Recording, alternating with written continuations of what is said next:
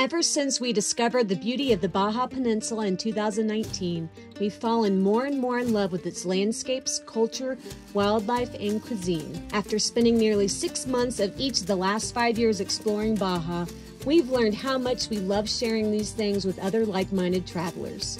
We invite you to join us in a once in a lifetime adventure.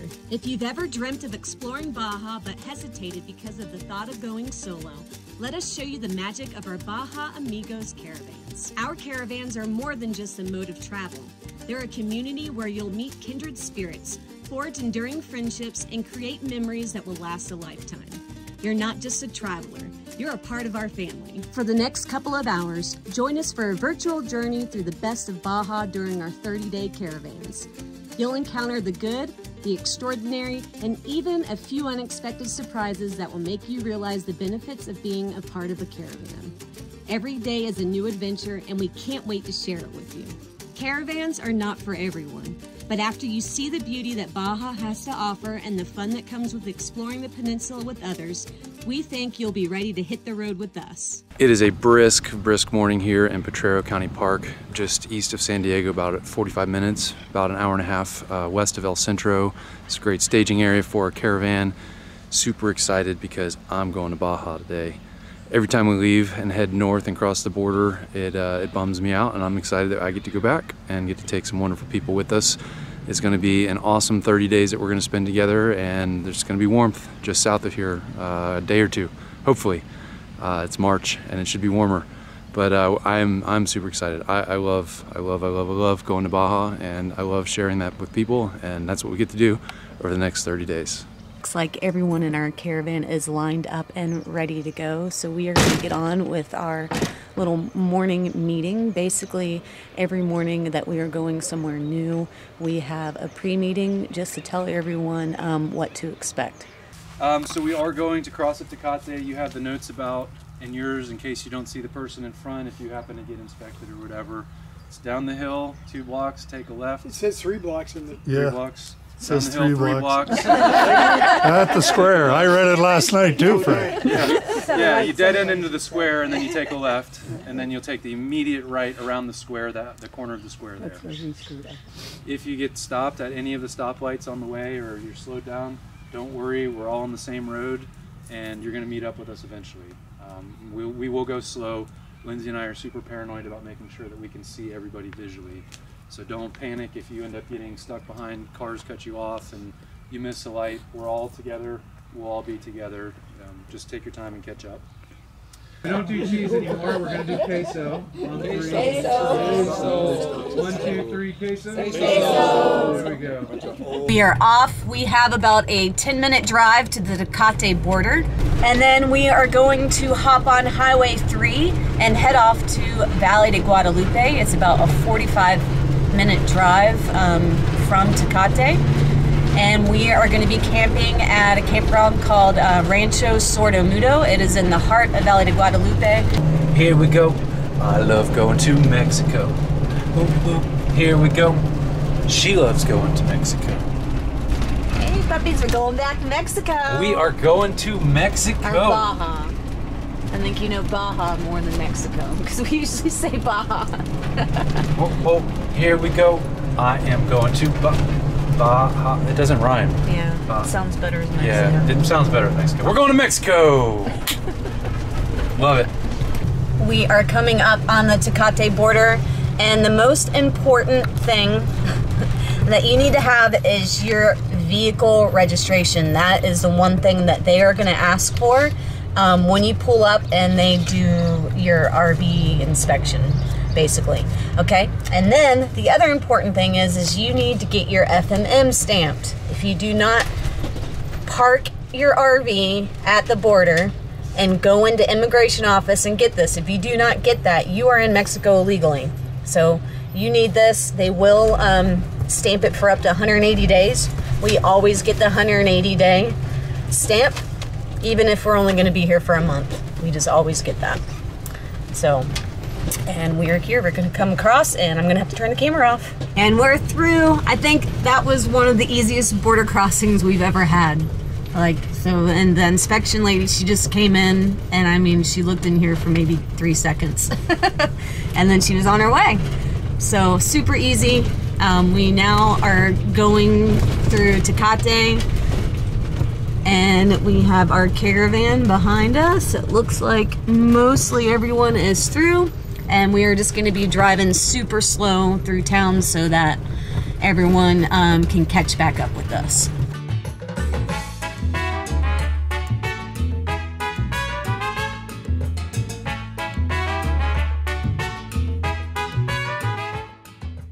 Welcome to Rancho Sordo-Mudo and Valle de Guadalupe. I love this place. I love Valle de Guadalupe. It is beautiful, beautiful part of Baja California and the northern state. And we are about to go on our winery tour. Our tour guides just got here and we're all gonna pile in and go taste some wonderful wine.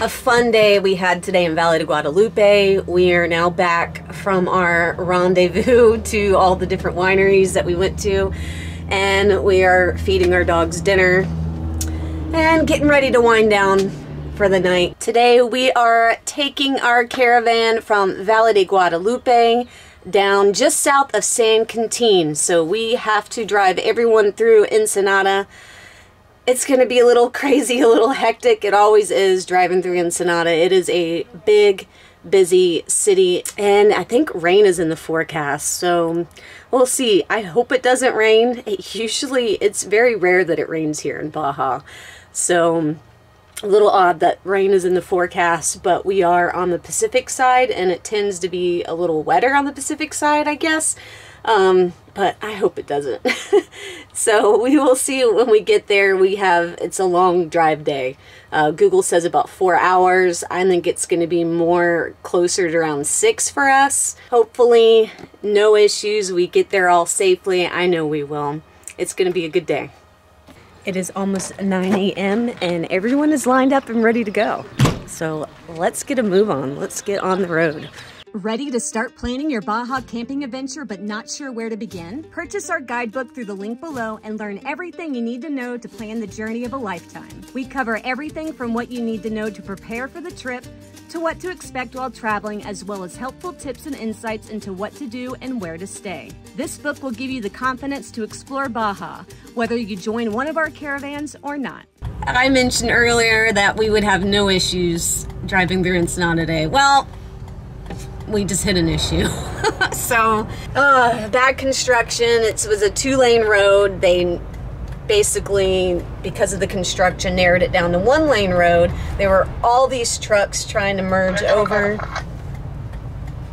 Um, and it was just a horrible intersection. And then after that, we the lanes split. One road goes towards Tijuana, the other goes to Ensenada. We're supposed to stay on the overpass on the one heading towards Ensenada. So we took the, you know, the correct way. We went the overpass, but because of that horrible intersection, like all of our people basically got stuck at that intersection. Um, so we have half of our group. We're waiting on the other half, and hopefully that they they did take that overpass towards Ensenada and not towards Tijuana. hopefully they're not on their way towards Tijuana right now. So we are currently pulled over on the side of this really busy road in Ensenada, waiting for the rest of our caravan to catch up. And I'm praying that. Hi, Martin. We just called. Are you guys all right?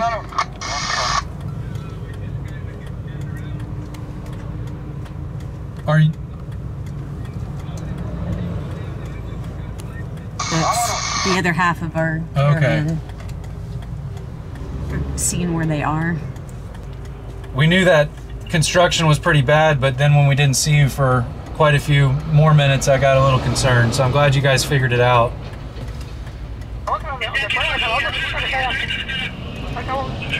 We've got everybody else just just waiting on you three. we got everyone back together now. So that was Chris on the phone with um, one of our Thanks, one of the people on our caravan. There were three of them um, that got lost at that crazy intersection with all the construction. We got them back now. So we. Oh, that was fun. Everyone's back together, so thankfully we were able to pull over there, um, and we had uh, cell service. And we are we are in Ensenada, a big city here in Baja, in the northern state, um, and we were able to get them back. So they are now we're all back together again, and we are gonna continue south.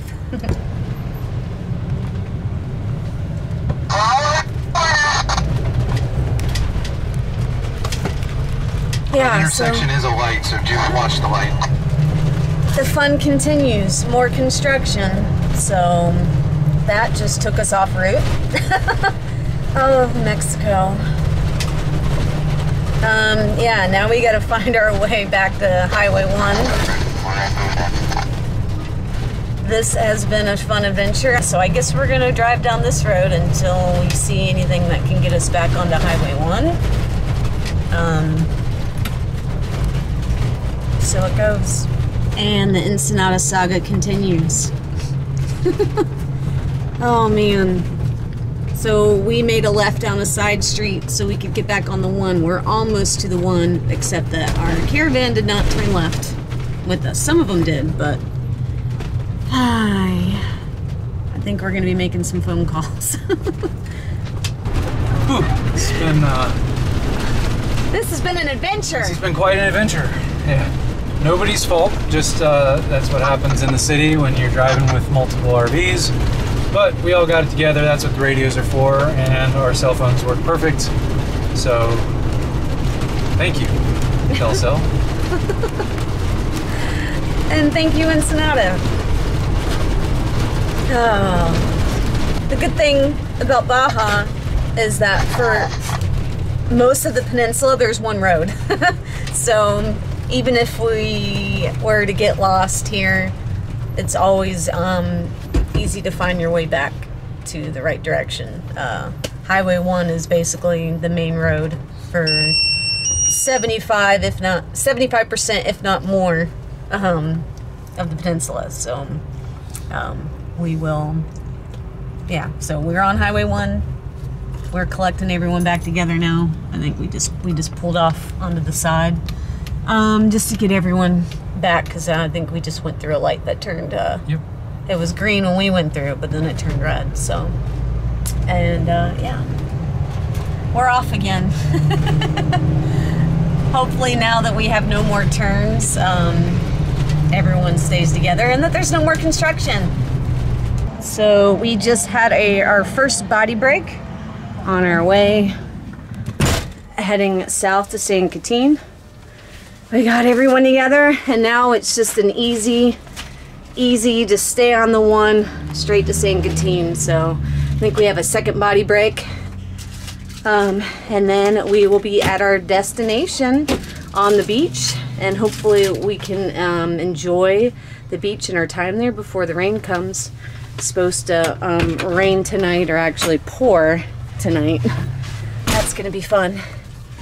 Um, and then tomorrow we head even further south.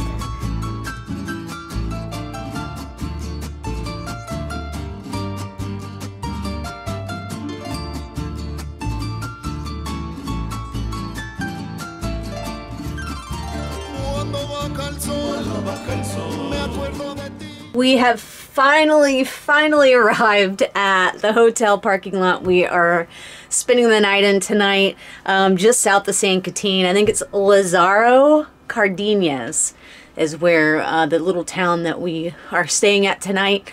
And it is windy, it is a little chilly, and it's supposed to rain a bunch tonight. So hopefully it's not too muddy when we get out of here in the morning. Um, today was a long day. We got in not one, not two, but three horrible construction spots. The third one I did not film um, because it just happened. It happened so fast. Uh, but they are completely repaving the road, and they just jutted us off the road on a horrible dirt road and then made us get back on at this horrible angle. Like I thought our camper was going to flip over. Um, we made the rest of our caravan uh, stay straight down the road and um, pretty much only us went up at that angle and it was kind of scary. but uh, we finally made it. We're here, we're all safe. It's fun time now. Let's go play some frisbee on the beach.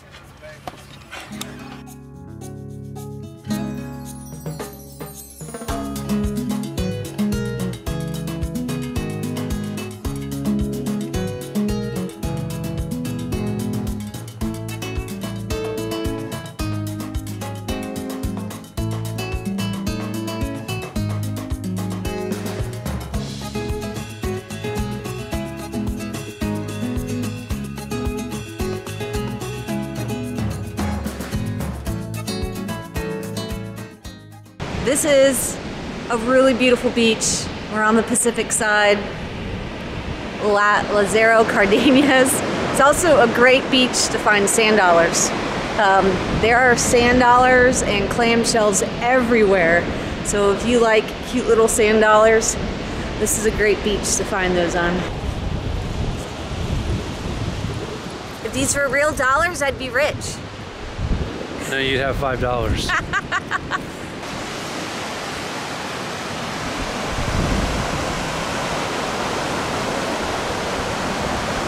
What a great group of people. I swear we have lucked out twice now. We have an amazing, amazing group of people in our caravan and I think we just sat outside for a couple hours talking with them after we hung out on the beach. I had to come in and make dinner and then it started raining so Chris came inside. I just made uh, Korean beef bowls. Some ground beef here. This is what my kitchen looks like when I cook because I have zero counter space. It's fun, but I love I love my little kitchen. I'm not complaining. So I got my uh, Korean beef bowl. Pretty easy, just some jasmine rice, some ground beef, and some green onions. One of my easy yet favorite dishes. We're about to sit down and eat that. So Hopefully it doesn't rain too much tonight because we are in like a dirt lot. It rains in Baja. It, yeah, it's it hardly desert. ever rains in Baja, but it's raining. It's rained on us more this season that we've been down here than ever before. So yeah, we're winding down. Gonna eat dinner. You're eating my dinner. That's mine. It's good. so we're here. We're safe. Um, a good but eventful day. And uh, yeah, so yep, time to wind down, call it a night, eat dinner, and tomorrow we're driving again. If you're interested in exploring Baja in your RV but would rather worry about what flavor of margarita to enjoy instead of how to navigate the logistics of driving and camping, we invite you to join one of our caravans. Professional wagon masters like ourselves, with years of experience living and traveling in Baja, will lead you on an unforgettable adventure where you can relax more and enjoy traveling with others. Check out the link below to learn more and sign up for one of our unique caravan experiences. It rained off and on last night and this morning, so we did wake up to somewhat of a muddy mess outside, but we still stayed until we're still here. It's about 11 a.m. Um, just enjoying this area and the beach. And even though with the rain, it's still been beautiful here. We had a rainbow um, this morning that Chris sent me a picture of. I tried to run out and catch it, but by then it was already gone. I just finished cooking breakfast and now it's time to get back on the road. Nice and sunny now, of course, right when we leave. and we are going to make our way to the beautiful desert cactus garden of Catavina. Can't wait to show you guys. It is a beautiful but very rural area of Baja, um, just right almost smack dab in the middle. And um, it is insane. It is so pretty. And we are going to take a drive up to um, some cave paintings that are very old. Um, and it's a really cool cave, so can't wait to show you. Let's get on the road. So we just had our first casualty of the trip. Um, we had a truck passing us, passing our caravan in the left lane, and he got way too close um, to the van that's directly behind us, and he took off their driver's side mirror. And of course, he didn't stop, he kept on going, which I don't know if he knew what he did, but we saw it happen. Chris saw it happen in our mirrors, saw him get way too close. And then, sure enough, we hear on our walkie talkie that their um, mirror, glass in their mirror is broken. I don't know. We need to find a place to pull over. And of course, there are no pull offs um, that we can see. So it'll probably be a few minutes and then we will assess the damage. I only got a couple of those on camera, but that was a massive, massive caravan of RVs, like huge 45 foot Class A's. And a couple, couple of uh, big fifth wheels just passed us. It looked like one of the big, I mean, I don't know how they do. Another one took a mirror off? Oh, crap.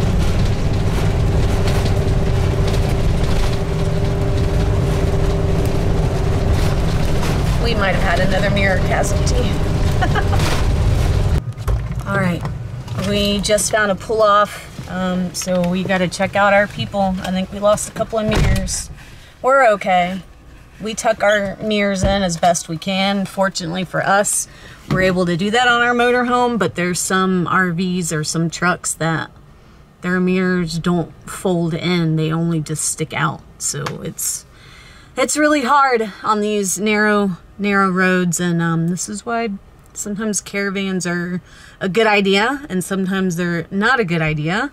Um, we keep our caravans small. We don't like to do more than eight RVs. Uh, so that big massive caravan was Fantasy Tours. They had, I think like 26 massive RVs, like massive RVs. And four of them were driving in the wrong lane. And yeah, four of them were in the wrong lane.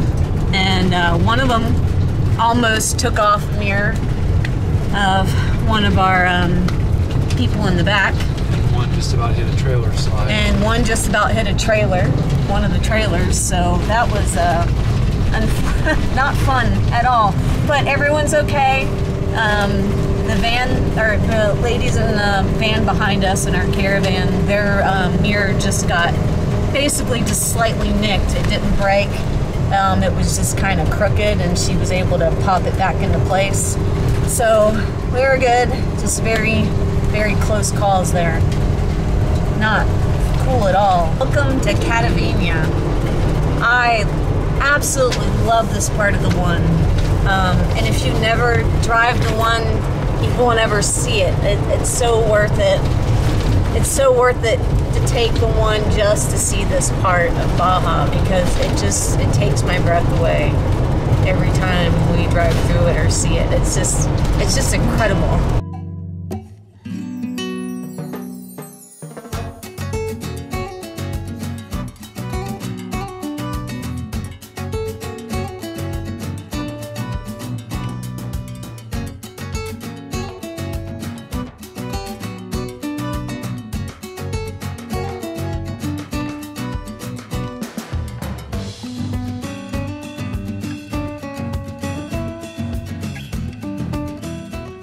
Have arrived at our um, camp spot in Catavina, and we are camped at a place called Rancho Santa Ynez.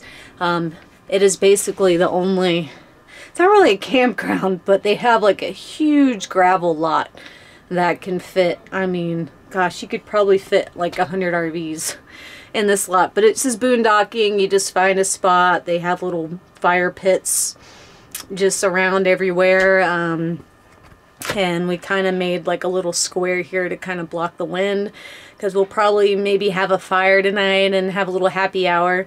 Um, they'll also make dinner for you. Um, she just offered us dinner.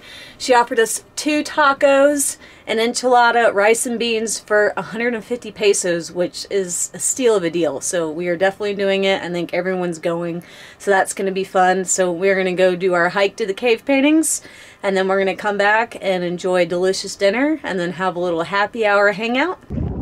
It is a gorgeous day here in Catavina, so we're taking the group out hiking to go see the pictographs and uh, the flowers right now. It's amazing. The, the desert flowers are blooming and it is absolutely spectacular. It's about a quarter mile hike and definitely worth it.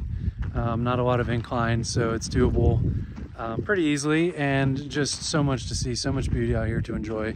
You're literally in the middle of nowhere, in the middle of the Baja Peninsula, where it's just a, a totally different, unique kind of beauty here.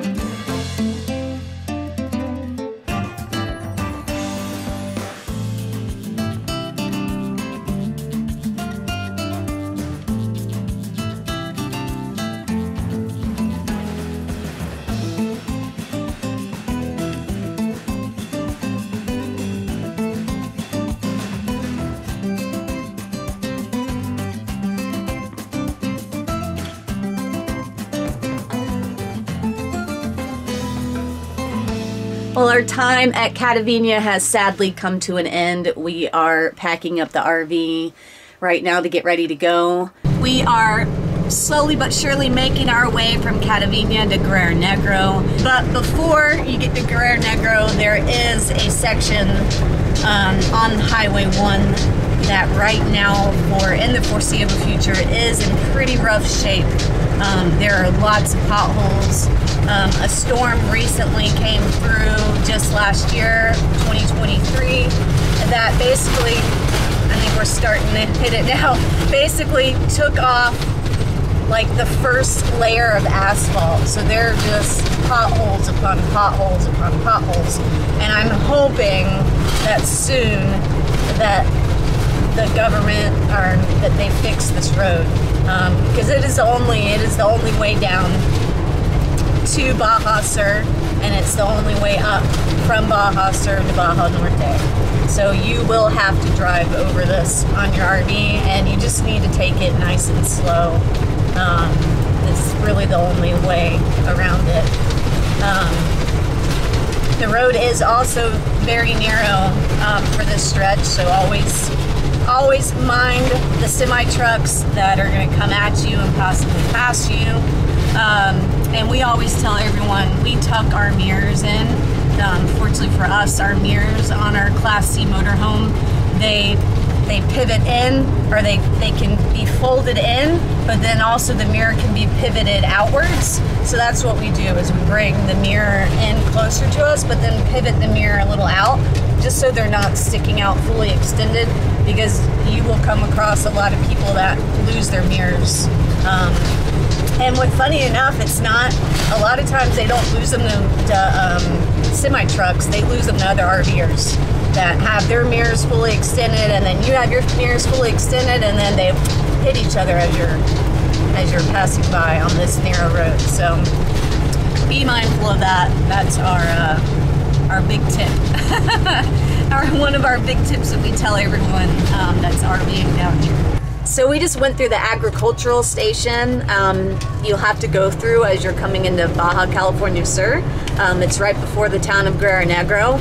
You do have to stop. It is so basically you're leaving Baja California and entering Baja California Sur, and it's two different agricultural points, right? So they don't want you to be bringing in pests from the north into the south. So basically what they do is they ask for a 20 peso donation and they spray the underside of your vehicle for pests. So here is our receipt.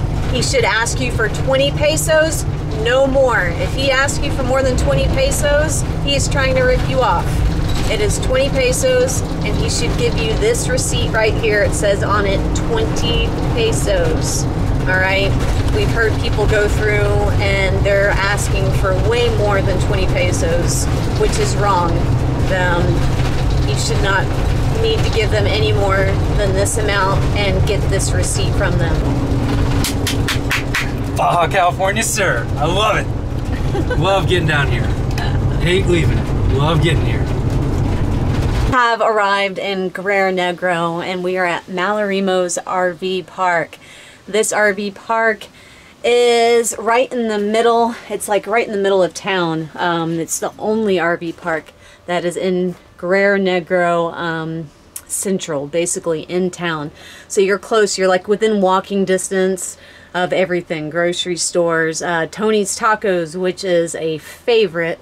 Um, he is known to make the best fried fish and shrimp tacos in all of Baja. Um, we went there and got a snack um, right after we arrived. And now we are here and we are about to go to dinner. We are having our hosted dinner tonight with the caravan with our group of people. And we are doing it at the restaurant that's at Malarrimos. Um, they serve delicious seafood, so I'm super excited about that. I've already looked at the menu and picked out what I want to eat. And then tomorrow, bright and early, we are going to go on our whale watching trip. It's actually, it's more than just whale watching. It is an absolute incredible experience. It is life-changing and I'm so excited. Every year I'm super, super, super stoked to go out and see the gray whales. It is probably my absolute favorite thing to do here in Baja. Today is the morning and I'm so, so, so, so, so excited.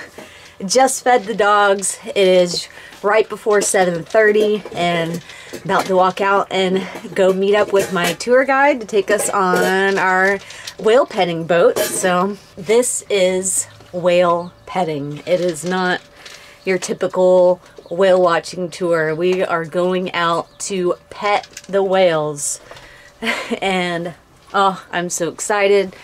Yes, I've done this before and it is absolutely so magical. It is life-changing. It is a must-do if you ever come to Baja from January um, through March. You have to come to one of the lagoons in Baja and go see the uh, gray whales.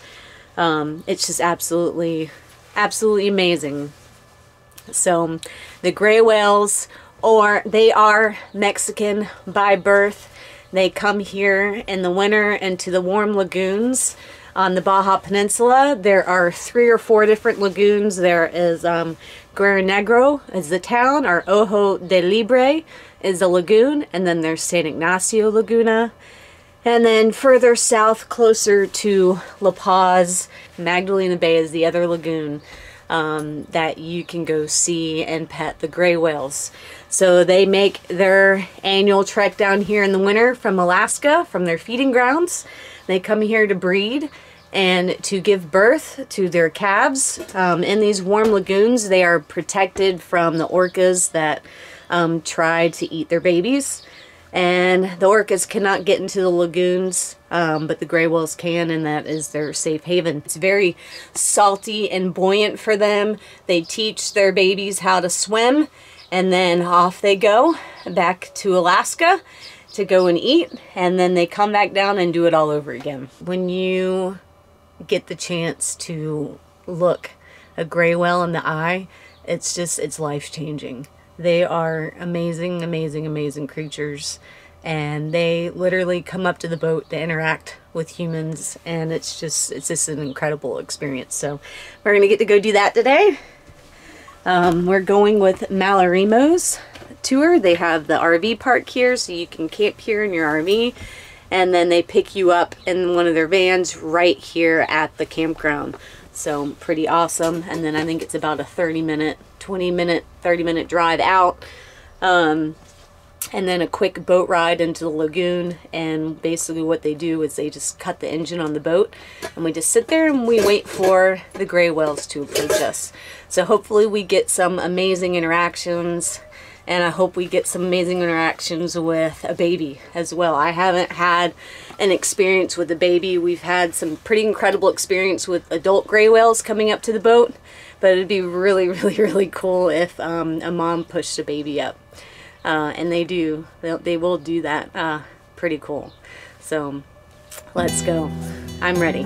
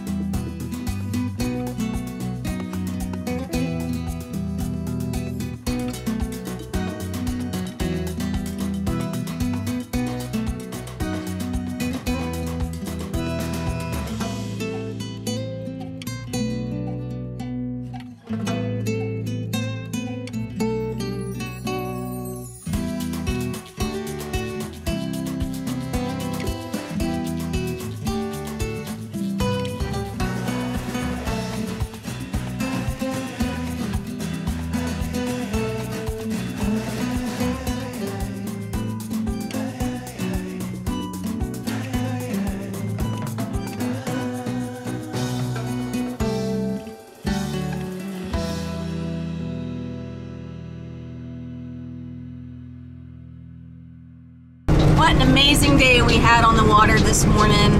We had great, I mean like fantastic weather. Apparently it had been windy and terrible all week.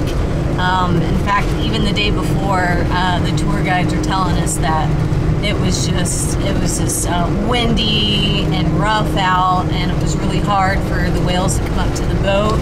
Um, but today there was like hardly any wind. It was decently calm, and we had some pretty great interactions, right? And now we uh, fortunately have to leave.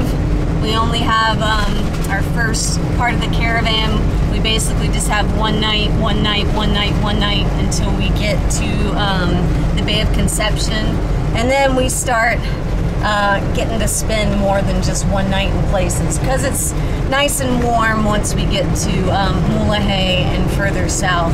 Um, the cold weather has kind of been chasing us here. Uh, yes, you heard it right. It does get cold in Mexico, especially in northern Mexico, especially on the Pacific side and in the middle of the um, in the middle of the country or middle of the state. It can get it can get kind of cold. So cold weather has been chasing us. Um, it's in the 60s today. Hopefully not too cold when we get to San Ignacio, and then by the time we get um, to Mulegé and the Bay of Concepcion, it should be in the 70s and the 80s. It's going to be shorts and bathing suit weather. Can't wait. But today we have uh, San Ignacio in our sights. We have a checkpoint we have to go through. It is the probably known as the worst checkpoint in all of Baja. Um, for some reason, that checkpoint just gets a bad rep. Um, we've been searched there multiple times. Um, multiple people I've read have said that they've had things, uh, just little things taken, or the guys try to like, you know, try to get away with getting stuff. Um, most of the time, the military uh, guards there, they're just bored and they're young guys and they just they just want to take a look around and chat and and a lot of times they appreciate if you you want to give them a water or a snack. We don't usually do that. We, we just ask them how they're doing and we answer their questions and usually they wave us on through. A lot of times the checkpoints when you're heading back north is when you're going to get stopped and looked at. Um, but just so you know, the San Ignacio checkpoint is known to stop you and, um, inspect your RV. So beware of that. Oh, the infamous San Ignacio checkpoint. After I warned all of you about it, we get stopped and of course he wants to inspect our RV. We have our whole caravan behind us. Yeah, they wave all them through and we're stopped and we're supposed to be leading our caravan. so now our caravan's all in front of us and they have no idea where to go. yeah, so. Hey guys, we'll be playing catch up. Um, the turn to San Ignacio is on the right in like five kilometers, so don't miss it. So, oh joy, that's fun we are trying to catch up with our caravan. So that San Ignacio checkpoint is literally just a mile outside of town. Um, after you get through that, you come up on San Ignacio, beautiful oasis town, um, and you have to make a right turn um, to get into it. Um, there are also quite a few campgrounds you can stay at. We are staying at El Padrino RV Park for tonight. They offer um, electric and water hookups at each site, and then they have a dump station in the campground that you can dump at before leaving or after you arrive. And that campground is literally, I mean, you're within walking distance of town. Um, such such a cute, one of my favorite favorite towns in Baja. So we'll be showing you around here in a little bit. We are almost there. There they are. Okay, perfect. I see you guys. We're coming up behind you right now. All right, thank goodness.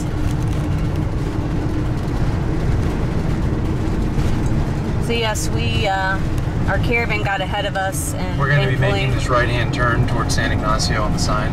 There they are. There's our caravan. So they were able to pull over before our turn. Our turn off is right here. Um, yeah. So Great work, team. that was fun. but we got them back. We are walking around downtown San Ignacio, and I love this quaint little colonial town. It is so beautiful and just quiet and serene. And it's just such a cool little place. Um, it was the Jesuits came here in 1706 and then built this beautiful mission here behind me in 1726. This is also a great place to stop and spend the night as you are making your way south down the one. It's a great little quick stopover. I highly recommend it. Um, it is a beautiful oasis town. There is a river that runs through it, and just, it's full of lush, beautiful date palms.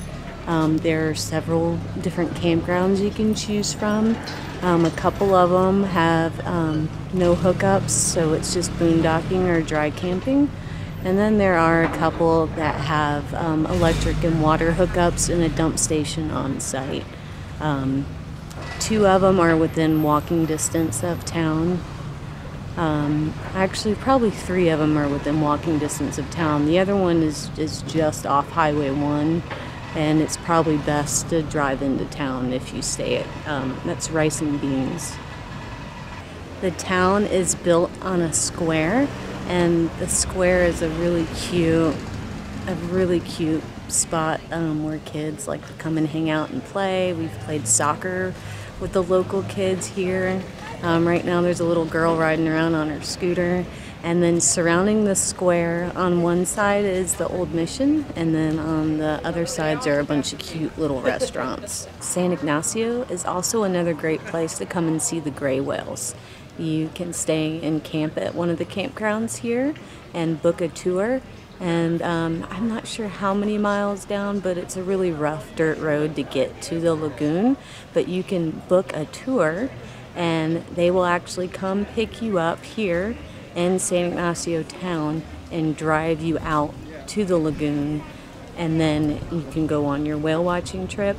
Or you can try and drive your rig out on the washboard dirt road to get the lagoon. There are a lot of um, different eco camps that you can boondock at.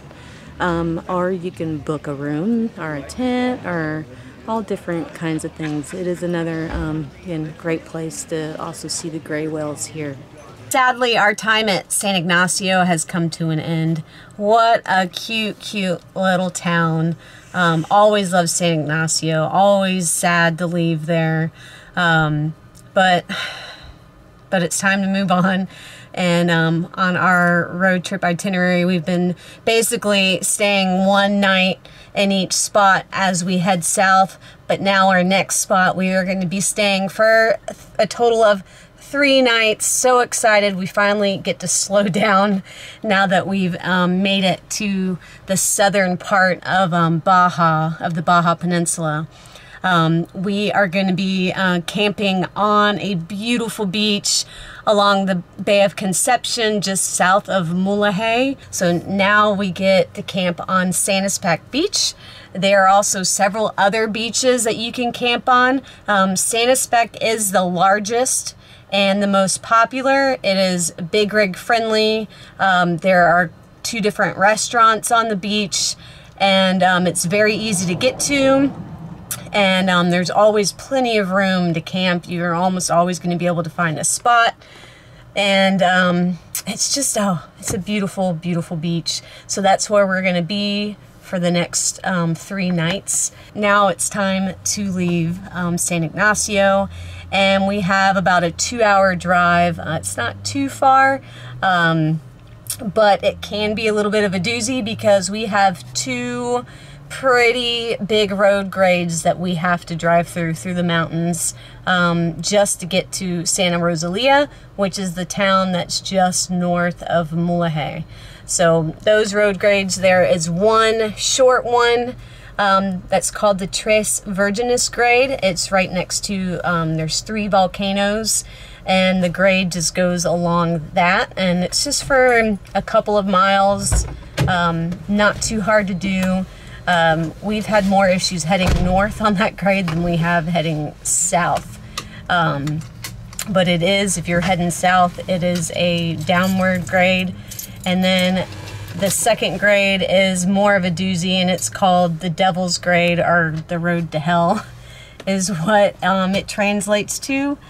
Um, and that one can be a little bit of a doozy. It's longer than the Tres Virgenes grade, and so we take it nice and slow in first gear. Um, and it is a few miles long for that one, and then that drops you right down into the town of Santa Rosalia. Puppies, we're almost to the beach. Yes. We're almost to the beach. Yes. We're almost to the beach. The beach. The beach. You ready for the beach? I think they're ready.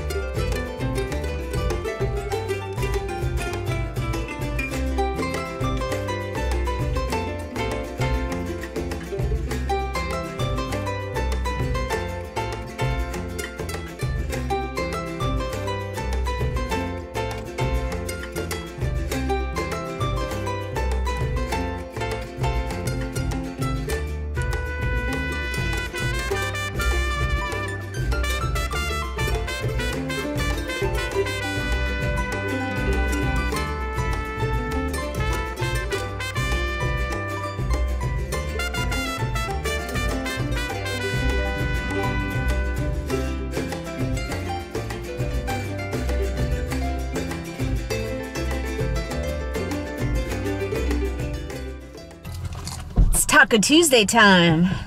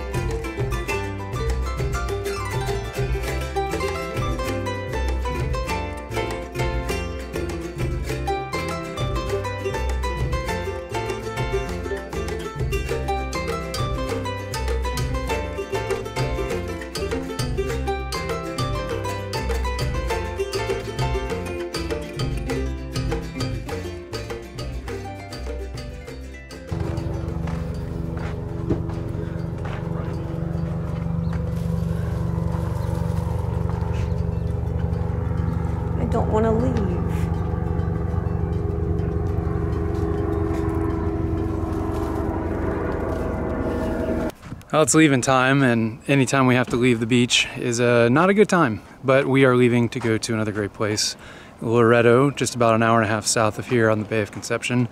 Loreto is a nice coastal town, very, very popular. It's got an uh, international airport, lots of expats like to hang out there. Beautiful downtown area. Anyway, gonna stop talking about that. Now we gotta finish packing up so we can go ahead and hook up our car and start the drive south with our people.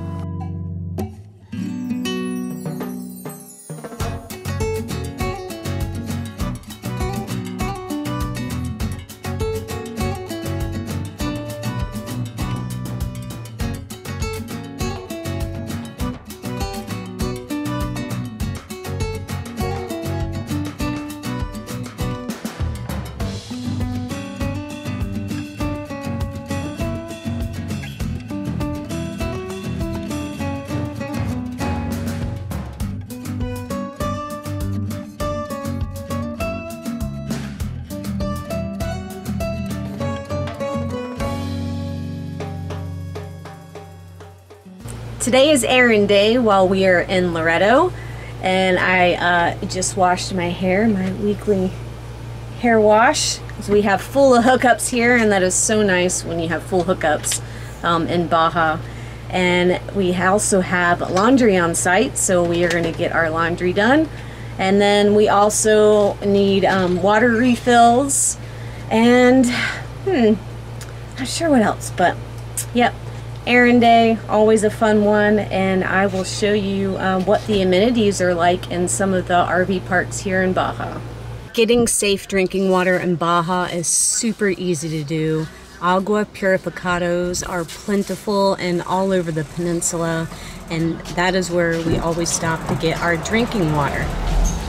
We carry with us a five gallon water container, and that is all that we drink out of. We do not drink out of the water in our water tank in our RV. We solely um, take that five gallon jug to get filled up at these aguas purificados. You can also get your water tank filled up at some of these aguas purificados, but we don't do that anymore because we just don't we don't drink the water from our water tank. We only use that for showering and washing dishes. So what we do is we just normally fill up our water tank at a campground and then add a little bit of bleach or you can add a little bit of vinegar. But these agua, agua purificados are everywhere, super easy to find, and the water is cheap. We literally, we pay like 20 pesos for them to fill up our five gallon jug. It is super affordable and um, yeah, the only way really to get really great drinking water here in Baja. Laundry facilities can be hit or miss in Baja. Um, most RV parks that you stay at will not have laundry facilities on site like they do in the US, um, but there are a couple that you will find that will have like a washer and dryer or just a washing machine and then you hang your clothes up to dry. Sometimes dryers are, our self-serve dryers are hard to find here. Um, so in Loreto, the RV park that we are staying at, they do have laundry facilities on site. They have about four or five washing machines and two dryers, and it costs about 50 pesos um, per load of laundry in the washer or the dryer. But one of the things that Baja is known for are their lavanderias, which is basically a laundry service where you drop your clothes off and then they wash, dry, and fold them for you. So the lavanderias are very nice if you just want to drop off your clothes and forget about it and not have to do your own laundry. They do an excellent job washing your clothes here. The laundry smells amazing when you get it back and it's super affordable as, as well. So when we stay at a campground that has the self-service laundry stations, we usually just do our own laundry. So we are currently camped at Riviera del Mar in Loreto. Um, it is a decent Mexican campground. Um, the owner, Yolanda, is super nice. I mean, she speaks perfectly good English. You can make reservations to camp here, which in Mexico and Baja, usually most RV parks, it's very hard to make reservations at. But this is one of those that you probably will be able to. You can call or you can send Yolanda an email um, and make those reservations. It is small. Most of the sites here are very tight. In fact, you should expect that pretty much at every campground in Baja.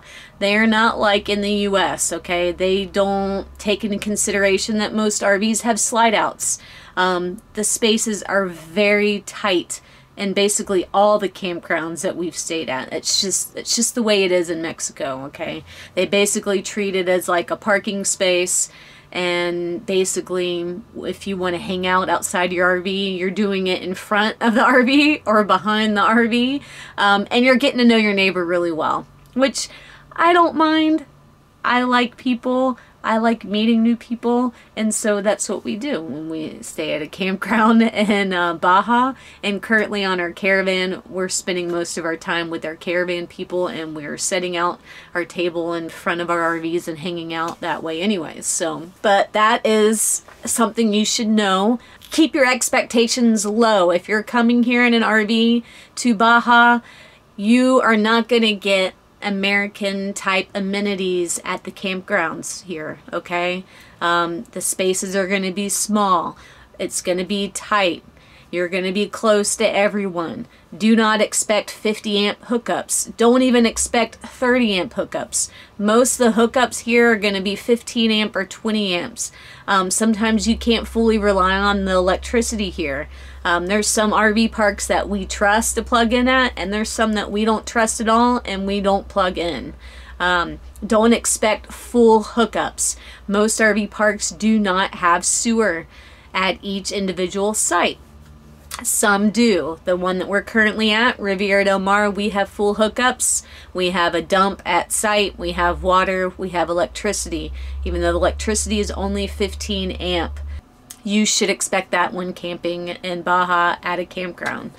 Um, most RV parks, if, if you're coming here and you expect to have a full hookup with a beachfront view, you're not going to find that.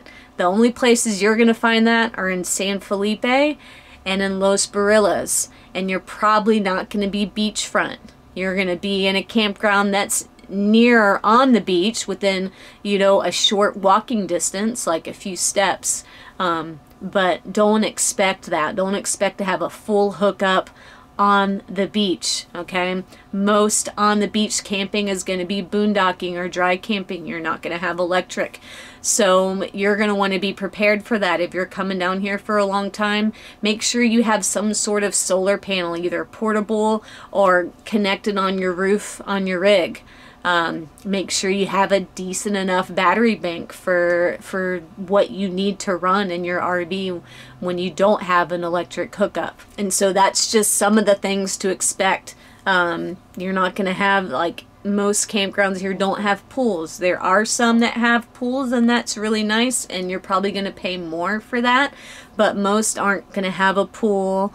Um, there will be some most will have showers. Not all of them will have hot water. Um, most will have hot water.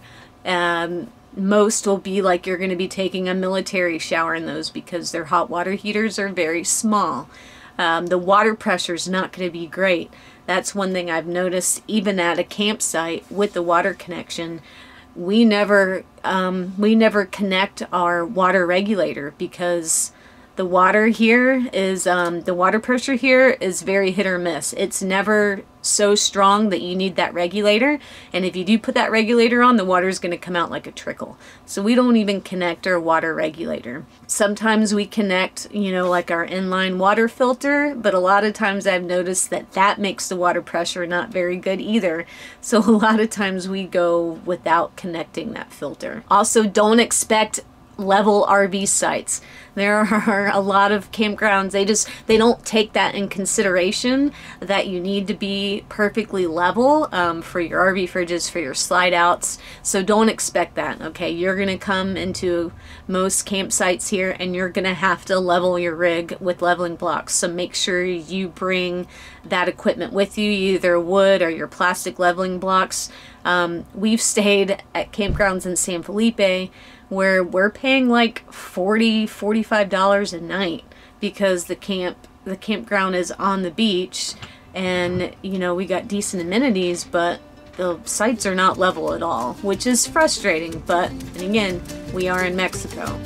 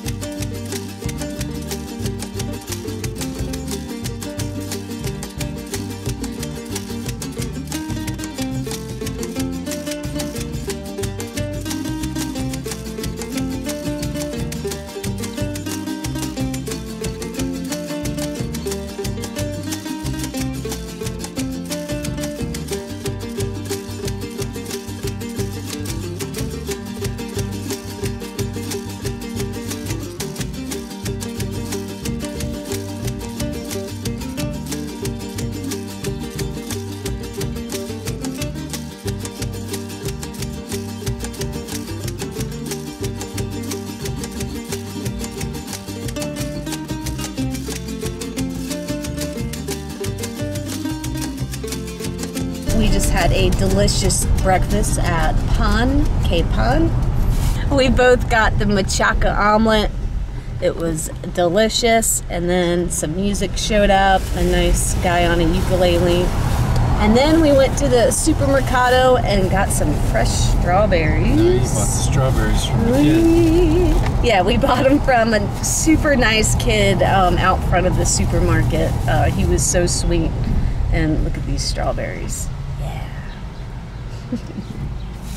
Nice way to start the morning here in Loreto. Huh, Huckleberry? You met some doggy friends too?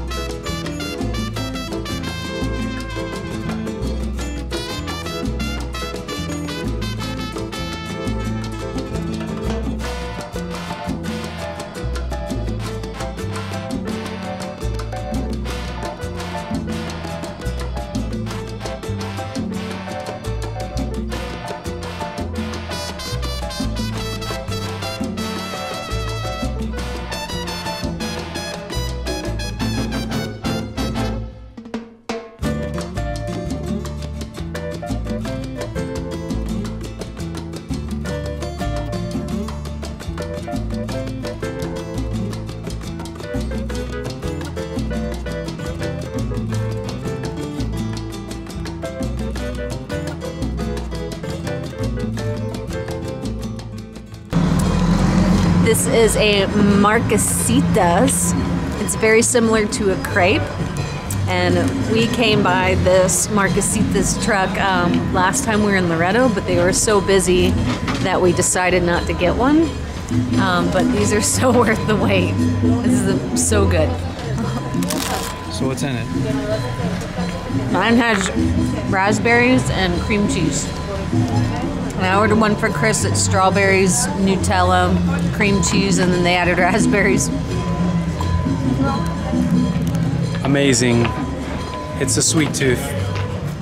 We've had such an amazing time here in Loreto. We've been here for three days, and man, we have we have eaten so much food. I feel like whenever we come here, there's always new restaurants that we have to try, and that's exactly what we did, and it was great. And we visited some that we've liked, or that we've already been to in the past.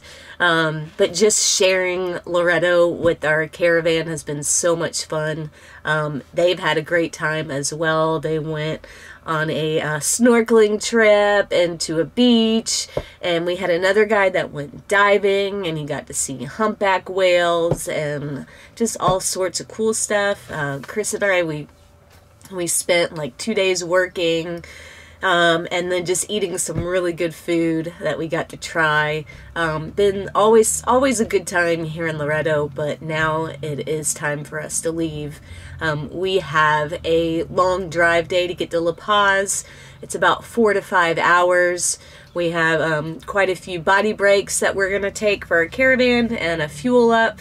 Um, we have to drive through what we call Stop Sign City, which is Ciudad Constitution. That's always fun.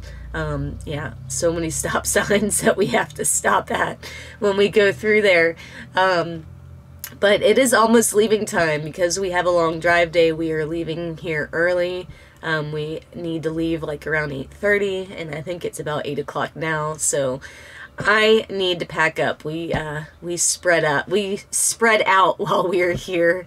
Um, yeah, so I need to get the camp inside of the camper ready while Chris gets the outside ready, and then it's go time.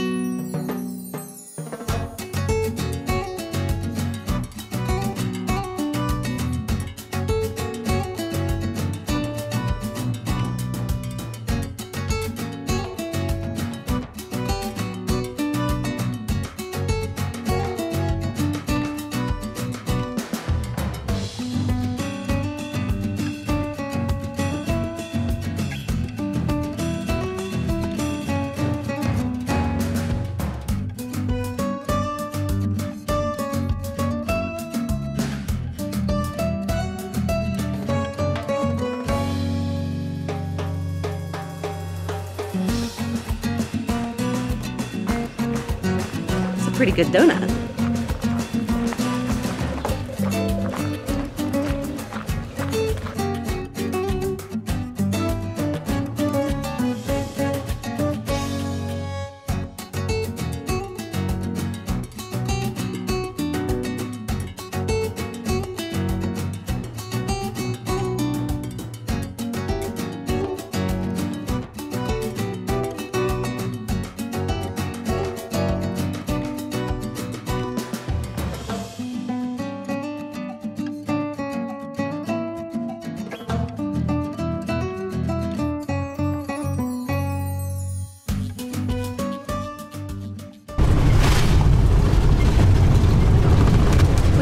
to call those party cows.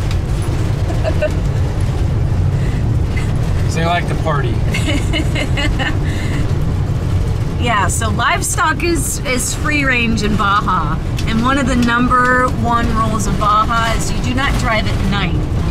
And it's not because it's dangerous, oh, it's Mexico, you're gonna get robbed, blah, blah, blah, if you drive at night. It's not because of that.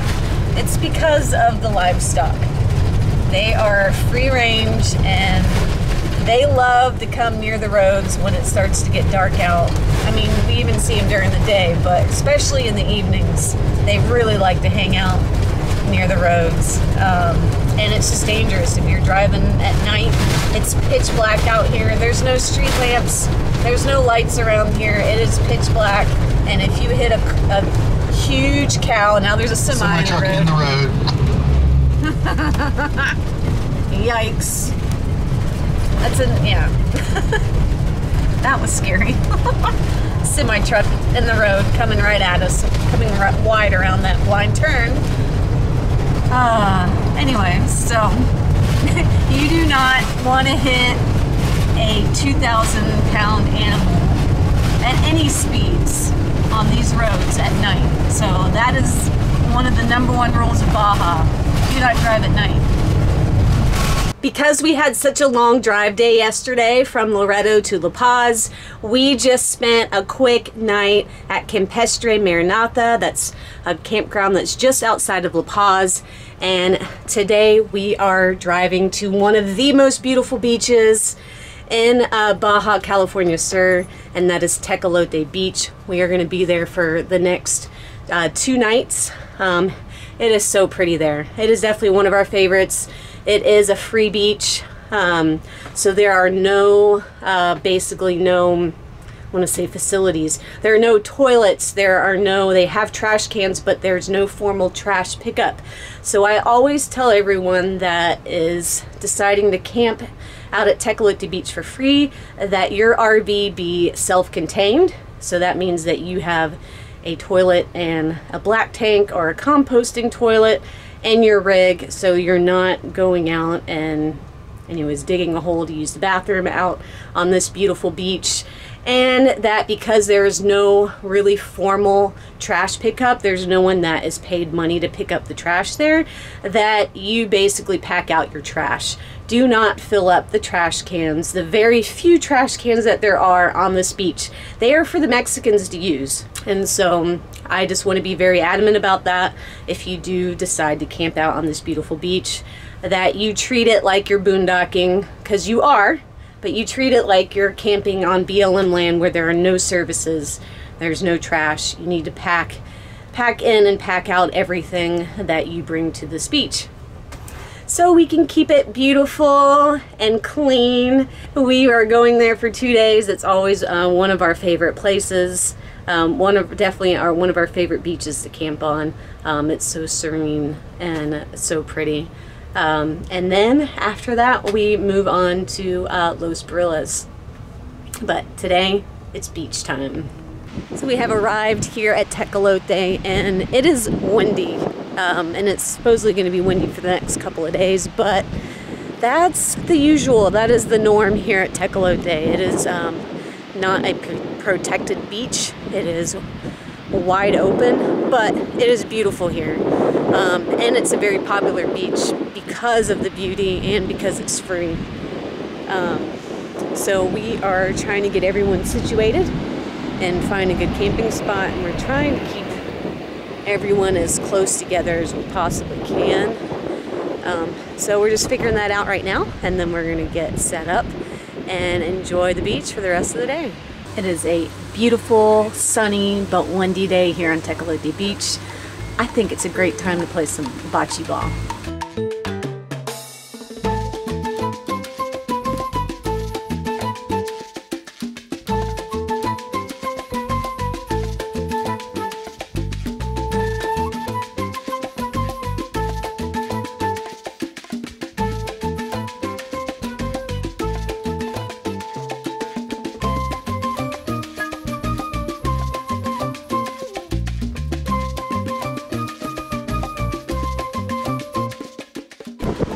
Is what to expect when you camp on a free Mexican beach on the weekend. So Sunday is fun day for the Mexicans here and they will pack out the beaches. They would come out here in droves, pack out the beaches, blast music, and they will play the music all night long until the wee hours of the morning.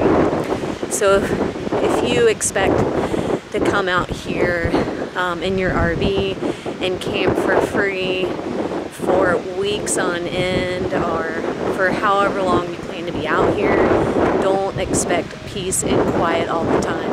You are going to have Mexicans, locals show up and probably blast music right by your RV. It's happened to us several times.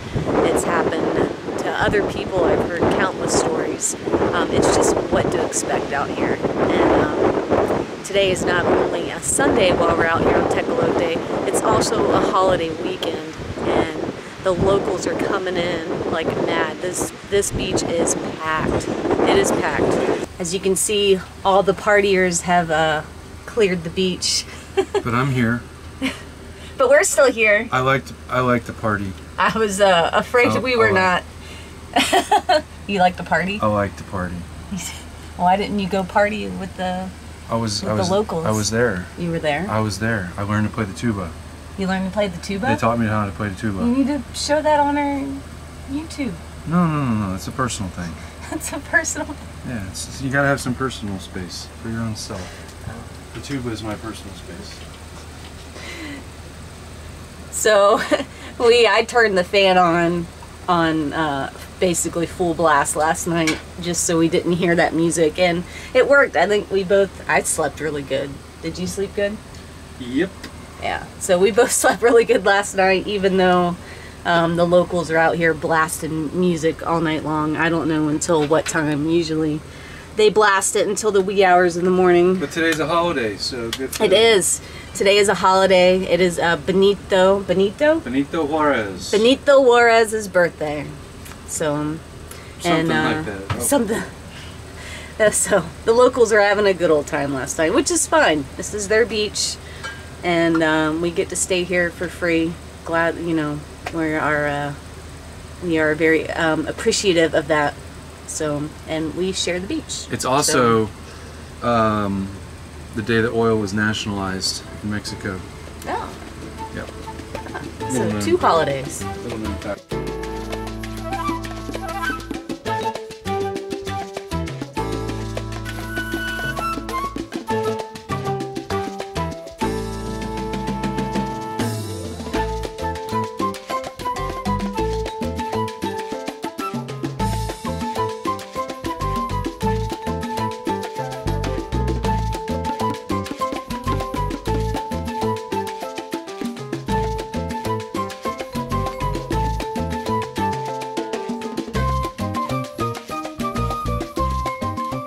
To start planning your Baja camping adventure but not sure where to begin? Purchase our guidebook through the link below and learn everything you need to know to plan the journey of a lifetime. We cover everything from what you need to know to prepare for the trip to what to expect while traveling, as well as helpful tips and insights into what to do and where to stay. This book will give you the confidence to explore Baja, whether you join one of our caravans or not.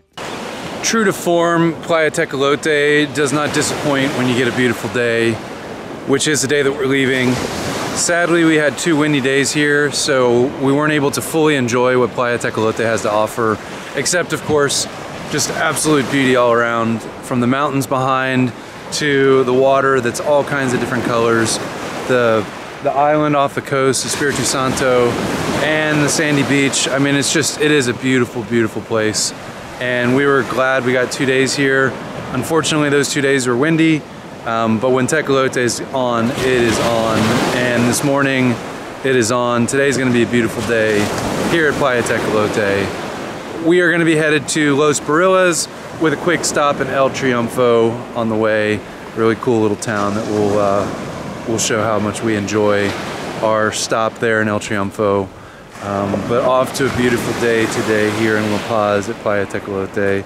Wish we could stay another week, but we're carrying on. This is a quick itinerary and uh, you know, that's the beautiful thing about Baja. You come down here and you find the places that you love and then you decide you want to spend a little bit more time there rather than uh, continuing to run around or come back and run around and run around and run around because there's so much here to see and so much to do and so many new places things that we're learning as we're traveling places that we've never been before um, experiences that we're having that are just something new and that's the beauty of Baja is being here and getting to explore and enjoy what we love the people the culture the landscapes and the wildlife here in this beautiful peninsula and of course the food. Got to add that in there, which is part of the culture. But this place is beautiful, and it's always a sad day leaving the beach. But we're gonna leave from one beach and go to the next, just a short little hop away. There's some parking on both the right and the left where I am right here.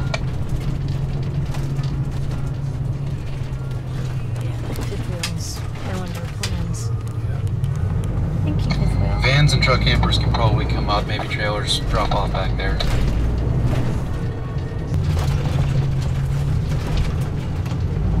I'm swinging into the left over here. Who else is leaving? That's He's gonna have to wait for me to. Is the CRV off the road? No, not yet. Keep going. We just arrived in the beautiful town of El Triunfo. It is absolutely one of my favorite little towns in Baja California Sur. It is an old mining town um, very small, very quaint, very cute. Um, there is an amazing cafe here um, that we are going to stop and get brunch at.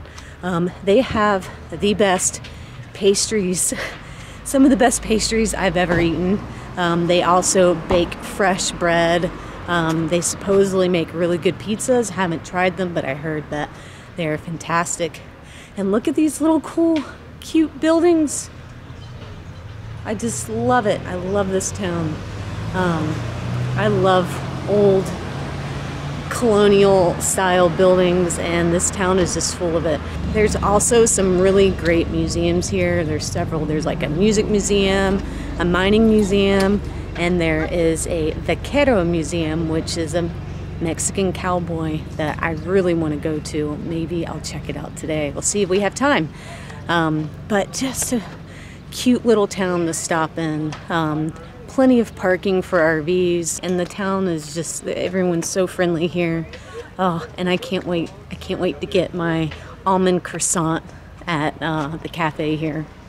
And El Triunfo is nestled in the Sierra de la Laguna mountain range in Baja California Sur. We're almost at the southern tip of the peninsula here, but it, this is nestled in the mountains I don't know, I don't think it's an oasis town, um, but just a cute little mining town in the middle of the mountains and a beautiful scenic drive in here. And then to get down to the East Cape, you drive through the mountain, over and through the mountain range um, to get over to Los Barriles, which is on the Sea of Cortez but definitely a beautiful drive in here. It's right off the Highway 1, and it is a must stop if you are on your way to Los Barriles.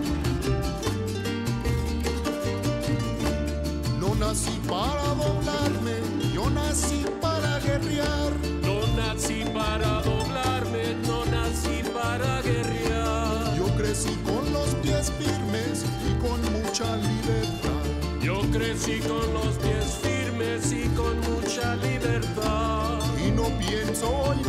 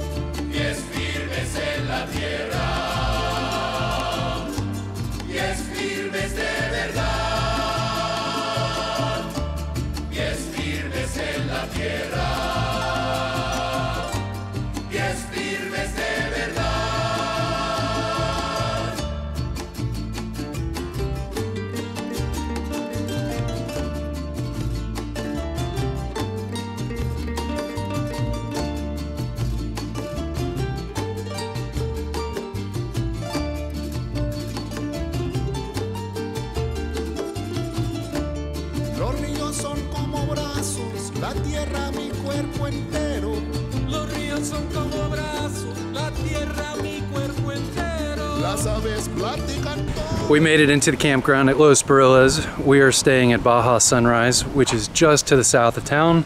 And uh, we thought it'd be fun for everybody to be able to get around on their own without having to carpool in our CRV. We all went out and we rented ATVs. So we got quads and side-by-sides. We're gonna go have a blast, starting with happy hour right now because this group loves happy hour and that's one of the things that we love about the caravans is just the fact that we get to spend time together just hanging out whether you're drinking or not drinking happy hours is a fun time to be happy. And Baja's a great place for that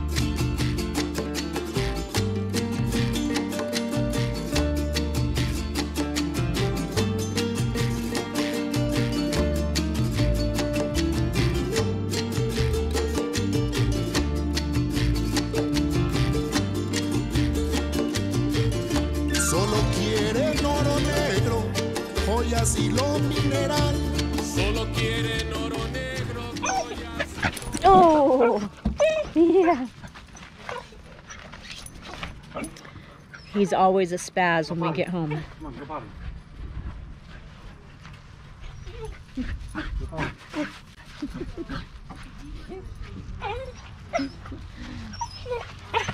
Yeah, I see you, boy. I see you. I see you. Let's go for a ride up the coast. We're gonna go along the beach, down where we were last night after happy hour, where all the campers are, and we're gonna turn up the arroyo there to the main road. Take, it for a little while before we go off on a dirt road. We're gonna go fast, really fast. I don't know if Elaine's gonna like that. I'm just kidding.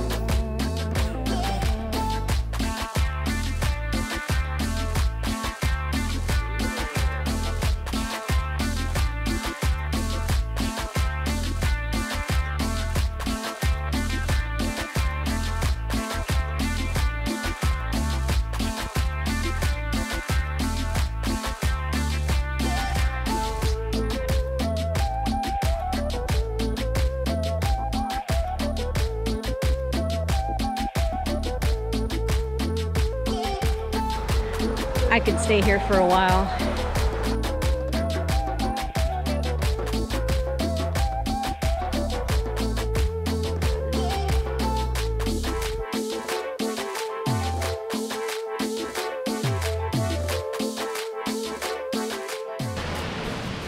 Hey, sexy. This place is beautiful. I mean, you're beautiful. Oh, thank you.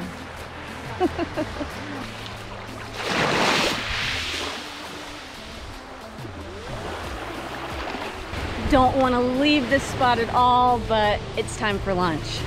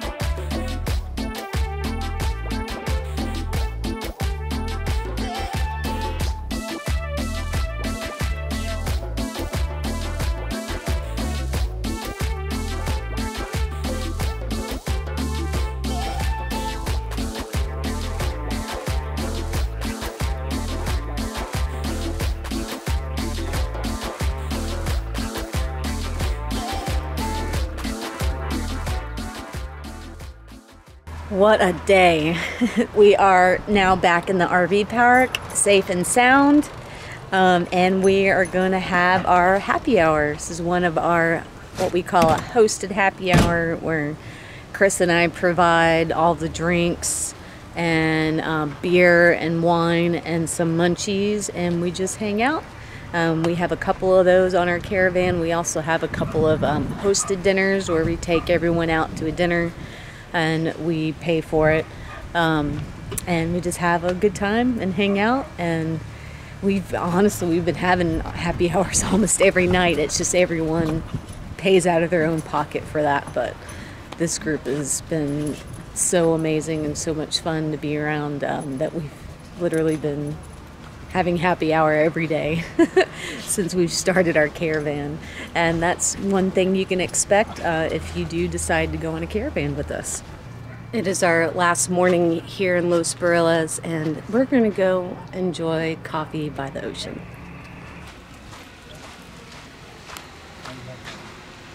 Any whales? No, but we've seen some stingrays. Oh, cool. Well, I, I can't confirm a whale. I think that looks like a spout way out there, but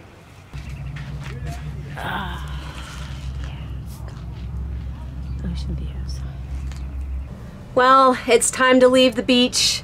And unfortunately, kind of sad we don't have another beach day um, until we get to Bay of LA.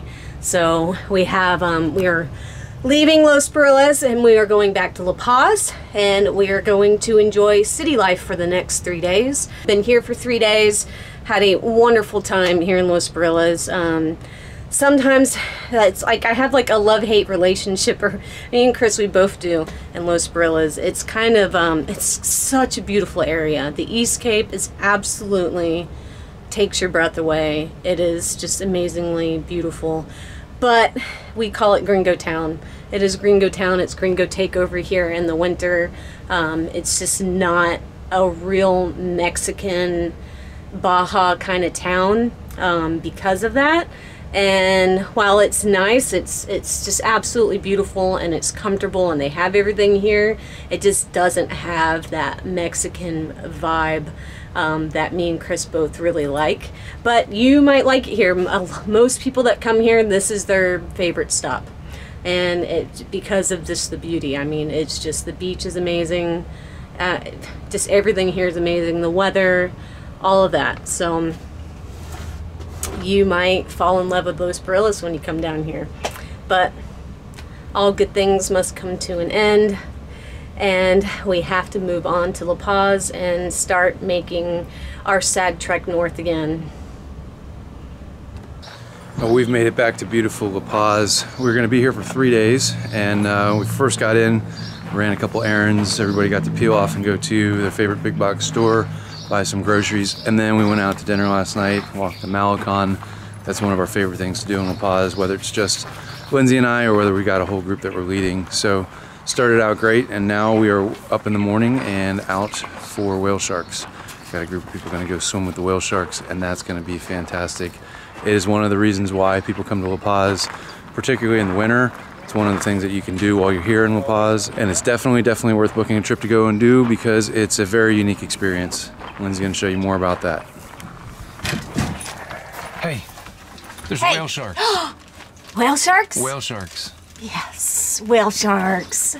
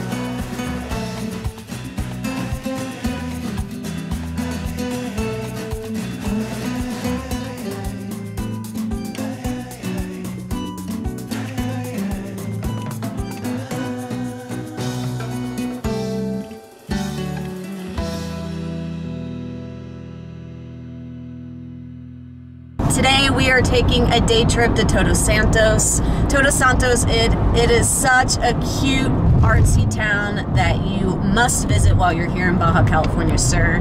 There's not a lot of camping in the area, um, therefore we are day tripping in our car um, from La Paz. It's about an hour drive, so not too bad. So we're gonna go there and walk around, spend the day looking at the cute little shops and um, there is some camping, so there is one campground at Todos Santos, but we really don't recommend camping there. Um, it's just kind of, I don't know how to say it. I don't want to. It's not, it's not well maintained. It's just not a well-maintained campground. Um, but there is some camping just a little further south of Todos Santos in a little town called Cerritos. There's a couple little boutique um, campgrounds. They're small, they're cute, and you might be able to find a spot camping there. But it was much easier for us just to camp at Campestre Maranatha and La Paz and then day trip out to Todos. So we're gonna go spend a couple hours there, check out some sites. Um, yeah, and just we haven't spent a lot of time in Todos, so I'm kind of excited to walk around and uh, see everything again. I feel like we haven't walked in town there since probably 2019 to 2020.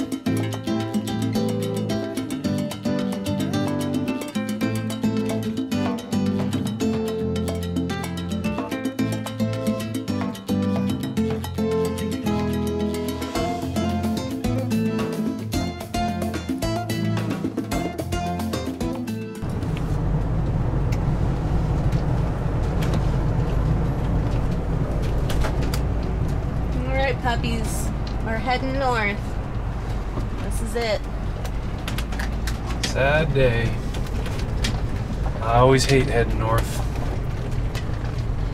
We are now officially heading north, and it is a sad, sad day. I, I always hate leaving La Paz. I love La Paz so much. It is definitely my favorite city in all of Baja. Um, and we had such a great time too. We got to do the whale sharks. Um, we day tripped to Todos Santos. We had a great meal in town and hung out on the Malecon. Um, just an amazing time. Um, but man, we have less than 10 days left on this caravan and ah, I love these people that we are traveling with so, so, so much. Um, they are all amazing. I've had such a great time, but it's definitely uh, bittersweet for sure. Um, we are making the long trek north from La Paz to Loreto. It is about a five to six hour drive with our stops. Um, we basically take a body break every hour and we're also going to need to do a fuel up. We are now pulled off on the side of the road. Um, we think maybe one of our caravan people had a mirror hit, um, which unfortunately that is a common occurrence uh, in Baja. The roads are so narrow that when a truck is oncoming or another RVer is oncoming, um, sometimes the mirrors brush. I'm hoping that's not what happened, but uh, we'll find out here in a minute. Okay.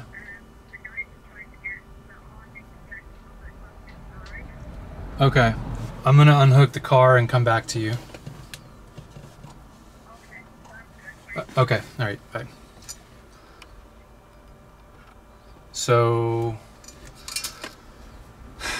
semi that went by apparently hit the trailer and ripped part of the awning off. No. And so now they're exchanging information and Wow.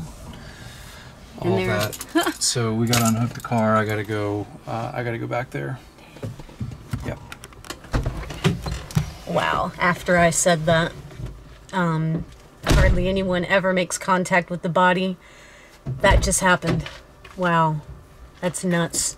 We are safely pulled over on this little pullout here on the side of the road. Um, Chris is unhooking the car. And yeah, he's going to take the car, turn around, then uh, go back to where the rest of our caravan is. We have one of them behind us that pulled over behind us. Um, I think we're all safely pulled over on the side of the road, and this is probably going to be a long delay. Um, hopefully, we're not arriving at dark.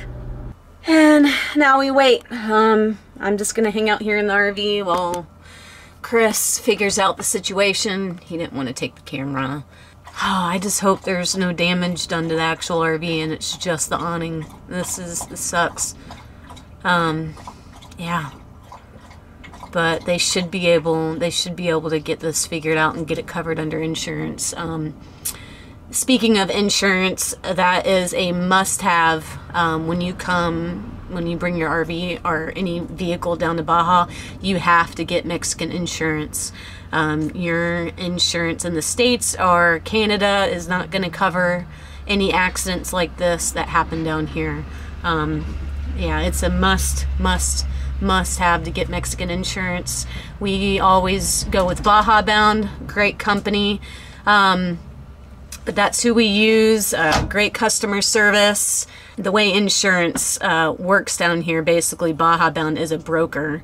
Um, and there's like two or three different insurance companies here in Baja. Um, usually, when we go through Baja Bound, we get Chubb insurance. Um, that's one of the major ones. So basically, you find an insurance broker, um, and then they find you the best rates uh, with an insurance company down here in Mexico. So Baja Bound is a great one. Usually, you end up with the Chubb insurance policy. We always get six months to a year policy, even though we're not here that full time. It's just cheaper that way. Um, the longer the policy, the cheaper it is. Um, so we always get six months or more. You know, I didn't think of this, but I sure hope that I don't know whose fault this is. We might have to wait for police, uh, just depending on how things are going right now. I don't know if we're gonna have to wait for police on this if that happens. basically what we're gonna have to do is Chris is gonna have to continue on in the RV, and I'm probably gonna have to stay behind in the car. Uh, I'm hoping it doesn't come to that. I'll find out soon. Um, I'm sure we have. Fortunately, we have cell service in this part. Um, that's hit or miss in Baja. There are uh, stretches of the highway or stretches of Baja where there is no cell phone service uh, whatsoever. Um, so I'm very glad right now that we do have cell phone service so Chris can call me once he figures out what is going on. Just in case um, I do have to stay behind. Thankfully, we have a car for that. Okay, what's that? We are getting the police and the insurance adjuster to come out here. Okay, I figured. So it's going to it's going to be a little while. Okay. So Do what I- are your thoughts on sending everyone in? That was that was what I was gonna say. I was gonna say you probably need to either continue on or we stay in La Paz tonight. All right. So it sounds like we're gonna be sitting here waiting for the insurance adjuster. Looking on the bright side, we are only about 30 minutes, maybe an hour outside of La Paz, which is one of the biggest cities it's the capital of Baja California Sur. So I'm hoping that because we're so close to La Paz, it will not take the insurance adjuster long to get here. But I'm not holding my breath. So our friends, our caravan members, they are safe. Everything's okay. Um, the awning, the back of the awning did get hit, and a little part of the trailer um, has some damage to it. Not bad. It's definitely repairable. Um, and we could definitely keep driving on, but we are still waiting for the insurance adjuster to come out. Um, and we were able to uh, secure the awning um, so that it's not flapping around and hanging and, and unsafe. Um, so we're good to go. Once the insurance adjuster gets here and we figure things out, um, we will be on the way to Loreto. Um, one thing to know if something like this does happen to you, 078 is the number to call. Um, Chris called that number. 078, he got an English speaking operator, right? And they were able to send help. Um, a national, it was a National Guard officer, right? No, they they didn't call the National Guard. They just talk you through what to do and figure out where you are and try to make sure that you're safe and feel comfortable. Fortunately, we had cell service, one bar of cell service, but it worked well enough to be able to make a phone call and relay our GPS coordinates. So I haven't seen Green Angels yet, but that's the next step is Green Angels should be coming through sometime soon. And they would normally be the highway patrol, not patrol, but um, not, not in a law enforcement sense, but patrolling the highway for incidents like this. Um, and they're bilingual as well, so they can help you um, in this circumstance. But call 911 after calling 078. Um, first, everybody was okay. If it was the other way around, if people were, were injured, definitely would have called 911 first. But um, the driver of the vehicle that they hit or that hit them is uh, Spanish speaking. Couldn't understand him. My Spanish is only so good. So I called 078, got an English speaking person, and handed my phone over on speakerphone. So he was able to relay the information to the driver, and, and the driver could relay information to me. Um, so that was very, very helpful.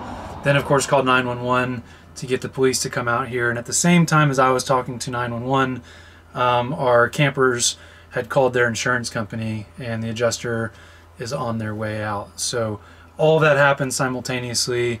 Obviously, first thing, make sure everybody is okay. Everybody was was okay. We needed the- help. If you speak fluent Spanish, then that's fine. But uh, we needed the help, so we called the tourist hotline 078 and then called 911. Um, and that's where we are now, just waiting, waiting for the adjuster. So one other piece of the story is that the damage wasn't catastrophic to the truck driver. His windshield, his side view mirror was was broken, but not crazy. It didn't smash through the windshield, or nothing crazy happened. So he was asking for 2,000 pesos, which is just over $100.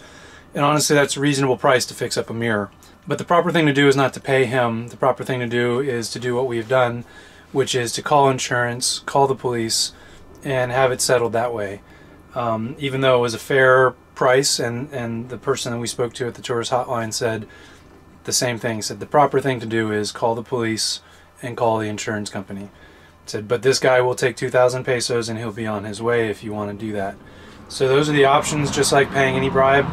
This isn't necessarily a bribe. It would have, you know, hundred dollars to fix the windshield is, or the wind, wind mirror is fine. But then what about their camper? You know what I mean? Well- if you do that, then it's basically saying No, if if this driver hadn't stopped, if the truck driver hadn't stopped, our guest would still have the broken awning and would still have the hole in their trailer. So the insurance claim would still be filed. You can always file the insurance claim before you leave Mexico.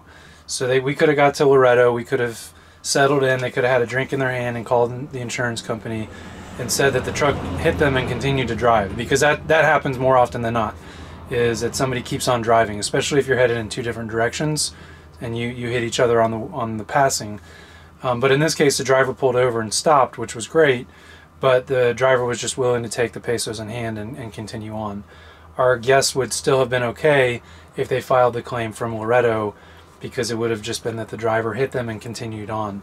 And that happens, that's why you have uninsured motorist insurance because that happens in the United States and Canada regularly where accidents are hit and runs and they take off.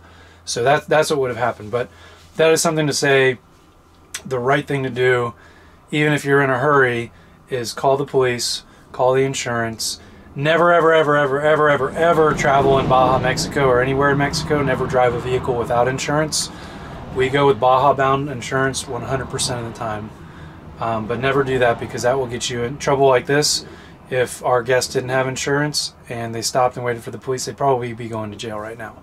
So um, just make sure that you have that covered.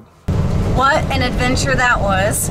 Well, the accident happened, I think, just before 10 a.m. It is now 2 o'clock.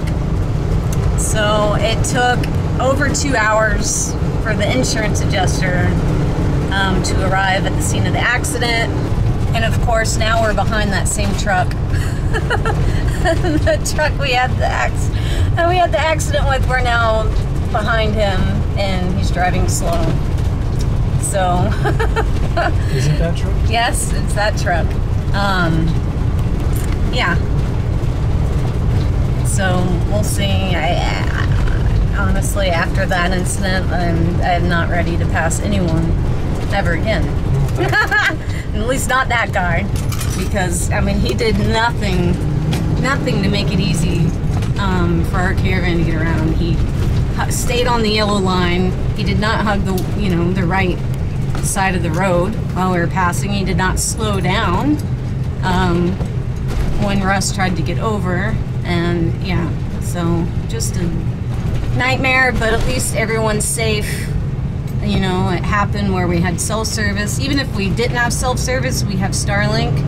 So we could have, you know, thrown out the Starlink and gotten service that way. But uh, still, got it all handled.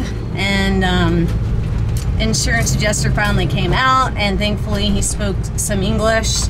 Um, so we are able to figure things out and get everything taken care of. And the insurance knows about it. And the trailer, there's no way for them to repair RVs down here in Mexico. So the work, so basically, they will have to go to the U.S., which they're going to do anyways, on the way back to Canada, and um, find a repair shop that can that can do the work, and then get the estimate for what it's going to cost to get everything fixed, and then they send that estimate to the insurance, and then the insurance will cover the cost. Um, plus, they have to pay the uh, deductible. So, um, but at least you know that that is going to be covered. They're going to need a new awning and some uh, fiberglass repair because there is a hole, small hole in the side of the camper, and maybe even a, um, the door is a little dented too from the mirror hitting it. So, and the only damage to the truck was the mirror. I mean, it, it the mirror actually looked in good shape. It just was missing the glass. So, um, definitely more damage to the RV, but there was really no way to figure out whose fault it was. They definitely passed in a safe the safe area. It was a dotted line. It was a straightaway. Um, they did everything right. It just, yeah, it happens.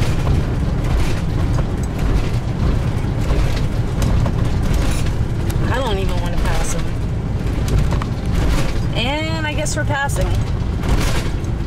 Well, having said that, we just did.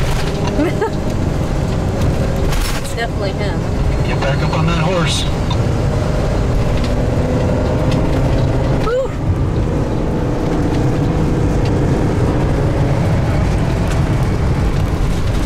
And yeah, that was the guy with the accident, but we passed them.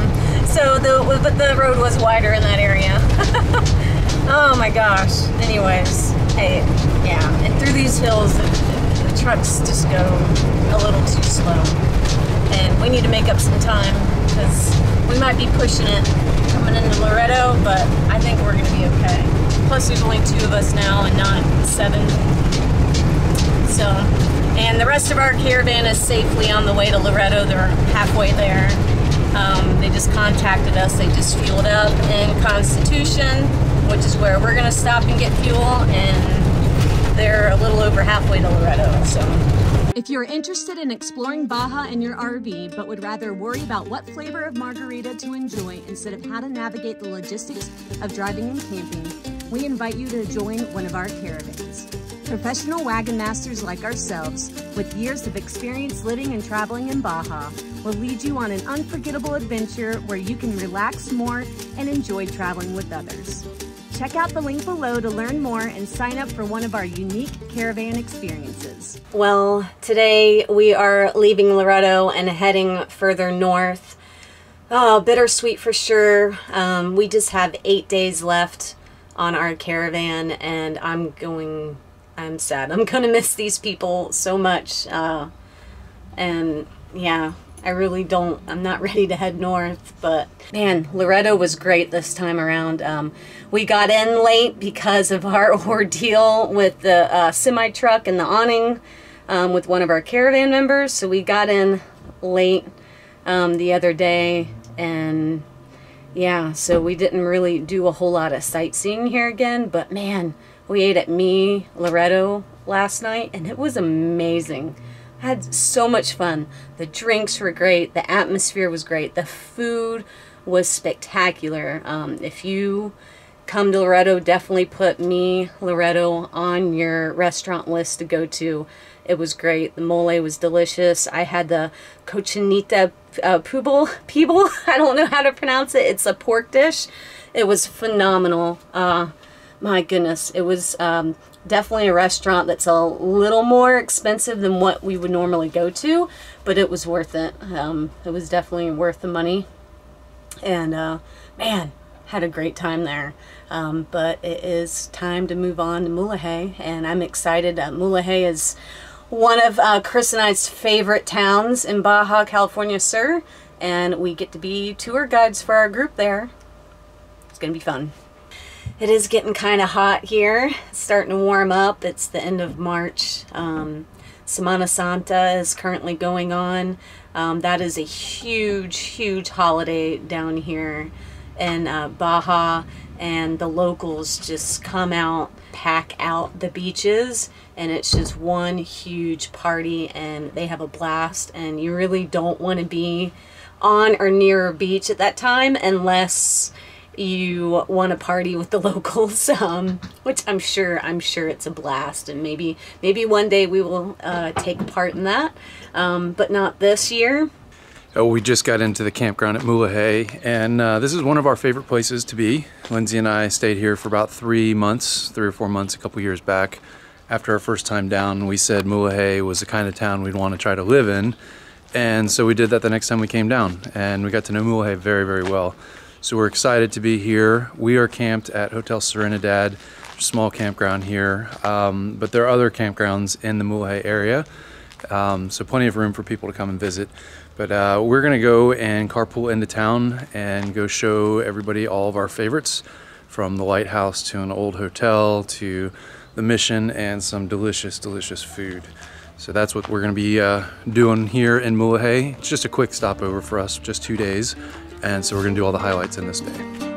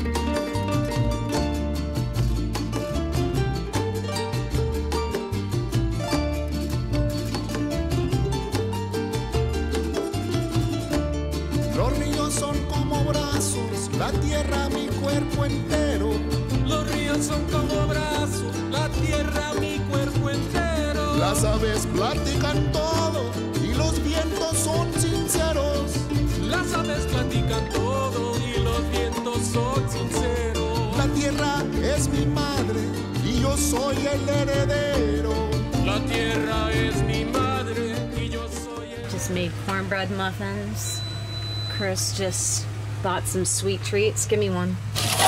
What are they? Also de leche empanage. Dolce de leche. I want one that's that you haven't bitten into yet. Give me my own. mm. Thank you. Oh, look how cute. They're good. Yeah. They don't taste quite homemade, but they kind of have to be. They have to be. Why would they not be?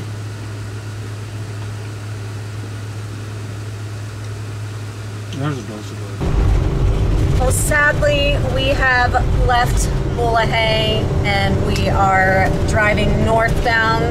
Oh, sad. we only have a few days, five days left in Baja. Um, and today we are making the drive from Mulegé to Guerrero Negro. Um, always, always sad leaving Mulegé. Always sad leaving Baja in general, but Mulegé has our hearts. Town that uh, that we love, and it's just such a beautiful, beautiful, cute Mexican town uh, with a lot of history. Definitely a must stop on your trip to Baja. It's, it's absolutely one of our favorite places here. Mulegé is also along the coast. It's just north of the mouth to the Bay of Concepcion, and at the end of town there's a lighthouse, and that's where the river empties into the Sea of Cortez. Um, and we've spent a lot of time camping in that area too. Definitely must stop and see Mulegé. I think one of the reasons why I feel like Mulegé feels like home to me is because it's a river town, and I grew up in a river town, and so it just it just holds a special place in our hearts. Um, also, our favorite, one of our favorite taco stands, if not our favorite taco stand in all of Baja, is in Mulegé, and it is called Asadero Danny's. You must eat there and say hi to the owner. His name is Juan. Such an amazing guy. Um, him and his wife run it, and phenomenal food, great tacos. Um, just have a conversation with him. He's such a nice guy, and uh, yeah, so definitely when you come and visit Mulegé, you have to stop and spend a few days uh, wandering around the town and must eat at Danny's. Now we are on our way to Guerrero Negro. We just have a quick night. Um, we are stopping at a campground called Mario's. It is a campground that is great for just an overnight. They have all pull through or mostly pull through sites. We just pull in for the night, we don't unhook the car, and then we just pull out first thing in the morning. Um, they're mostly known um, for doing the whale trips and Guerrero Negro and Ojo de Liebre Lagoon. Um, so that's usually what people camp there for. It's right off the one, just like I said, easy, easy in and out there, um, and a must stop there if you want an easy in and out to see the whales as well. Um, right now, the whale season has come to an end, sadly, so we won't be doing a whale trip while we're in Guerrero Negro, but again, it's just a quick stop for us, just one night there, and then first thing tomorrow morning, we are leaving to go to Bahia de Los Angeles. So we just stopped for our final body break and last fuel up before we get to Guerrero Negro. And we've hit a minor issue. Um, so with that trailer that um, hit the semi truck um, when we were leaving La Paz and going to Loreto, has an issue. We don't know what the issue is yet, but it has an issue with one of its axles.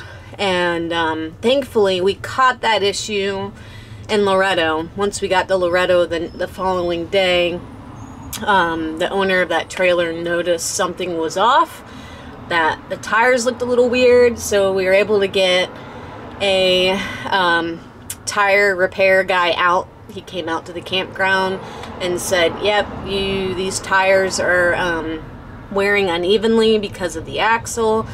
Let's go ahead and put two better tires on. I believe they were used but like new." And so he installed these um, newer used tires on that were in better shape. And it turns out now, we're almost to Guerrero it turns out there is a screw in one of those tires and it was uh, not looking good. Uh, it's low on air. Looked like it might have a little bit of dry rot. We thought maybe that was the issue, but we just caught that there's a screw in it. So now the guys are um, taking that tire off and putting on a spare. Thankfully, he does have a full-size spare. So, number one thing um, to know if you come down to Baja in your RV, bring a full-size spare tire, if not two full-size spare tires, um, especially if you have a trailer. Um, tr the correct size trailer tires, they are very hard to find in Baja. They're just not, trailers just aren't a big thing here. Um, there's not really, it's really super hard to find trailer, specifically trailer tires. Um, if you have a motorhome, like us, like a Class C or a van, it's going to be much easier to find tires because you just put standard, basically. Um, just heavy duty but standard type truck tires. And all the years that we've been on the road, we've never blown a tire. We've gotten flats, but we've never blown out a tire. And I don't ever want to blow out a tire. So we're going to keep it at that. We're always going to put oversized tires on our rig. So I highly suggest you bring a spare, full-size spare, if not two full-size spares with you when you come down here because the roads are rough and um, there are a lot of nails. We have never gotten a nail in a tire out here in Baja, but there's a lot of trash and debris around. Um, it can happen, and it's happened, uh, yeah, it happened on our last caravan, and now it's happened again.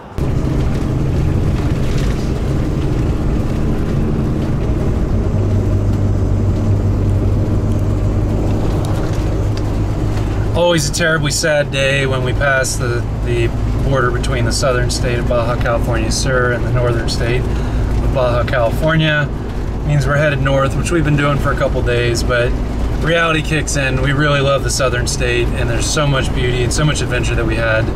Um, so this is our last couple days, and we are headed north. Another reason why today is not so pleasant is we're gonna have about 25 kilometers of the worst potholes on the highway this year.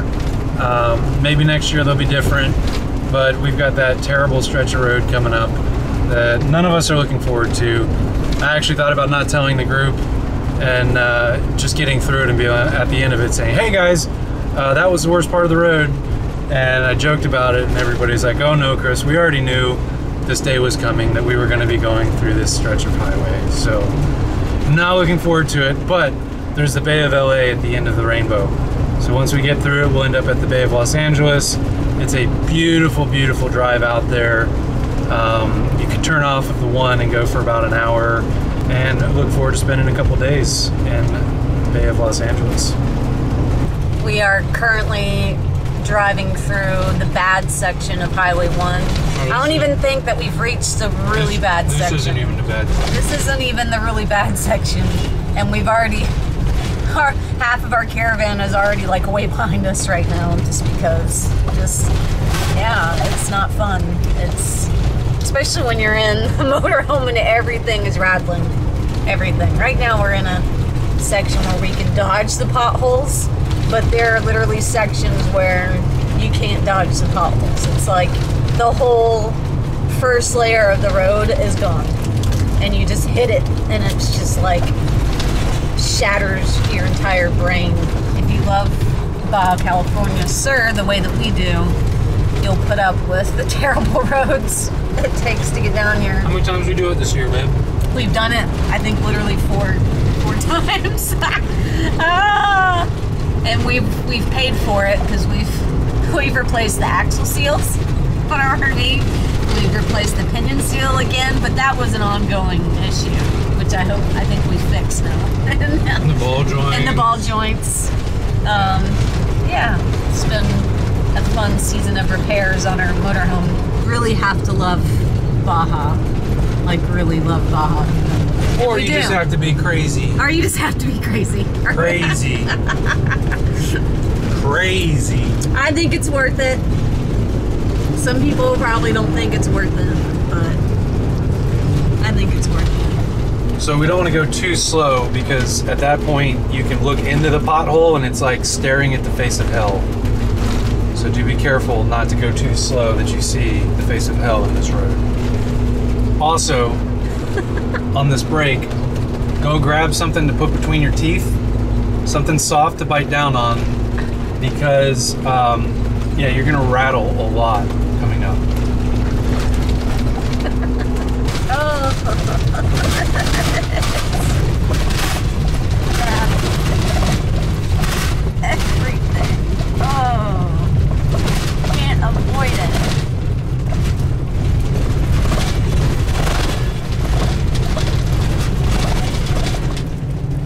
have about 15 miles of this.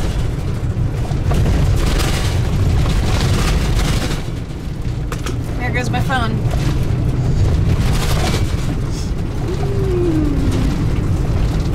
To turn the child pointing. Ah! It won't end. Will it, Huckleberry? It won't.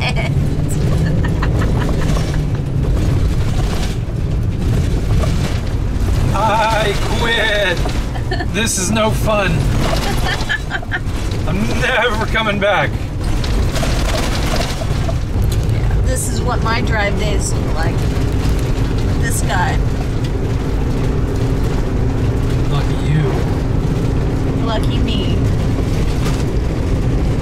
Well, we've turned on to the road to the Bay of LA, and it's been pretty smooth sailing. A lot of traffic, um, a lot of RVs, which was kind of strange. Heading, leaving, and um, coming down. Um, so, and last when we came here in January, this was a diversion. Is there a road on the other side of this, or am I going to drive off? I know, right? This is where I'm like, so this was not finished when we were here in January. They built this fast. They built this really fast. Like we were down there, and now we are driving on the new bridge. I did not think that they would have this finished in a month. Wow. They did an excellent job. We Hopefully. fall off the bridge. Hopefully it lasts. We're almost to Bay LA. It's been a really smooth, smooth drive here, especially since that diversion was completed and that bridge is finished. Um, yeah, we're going to be pulling into our spot. We're, we're going to a new area. Um, we camped at Daggett's before and did not have a good experience. So we've switched it up and we're now we're going to be uh, camping at a hotel that is in town. Um, and they have a couple of pads, concrete pads for RVs. I don't think they technically, I don't think they um, advertise it as open to RVers all the time. So it's not a spot that you would be able to go to uh, or camp at, um, but they're allowing us to camp there on this trip. Um, but usually we recommend Archelon is the best campground period in all of Bay of LA. There's really only two to choose from. There might be a third now, and maybe they'll find out on this trip where that is. But there's Archelon and there's Daggett's. Um, we don't recommend Daggett's, and we'll talk more about that later. Um, kind of had a bad experience last time we were here. But Archelon, very nice, very nice small campground on the beach. And um, and then there's also camping out at a beach called La Gringa, which is way outside of town, but a beautiful beach. Um, it's free for the most part or by donation to a wonderful uh, local couple that keep that beach clean and pick up all the trash. Um, so definitely recommend staying out there. Wow, wait until you see the spots we just pulled into. Like, this is not an advertised place. Like, this is not somewhere that you can just pull in and camp at. It's not advertised. I never knew this place existed, but there's literally 50, maybe even 100 RV spots here on the beach in town at Bay of LA. This place is pretty cool, but I mean, look at this. Look. I doubt, I mean, it looks like there's electric hook hookups here, but I doubt they work. I think that this was an active, really fun place to be a long time ago, and no one's just like kept up with it. But this is really cool. This is so cool.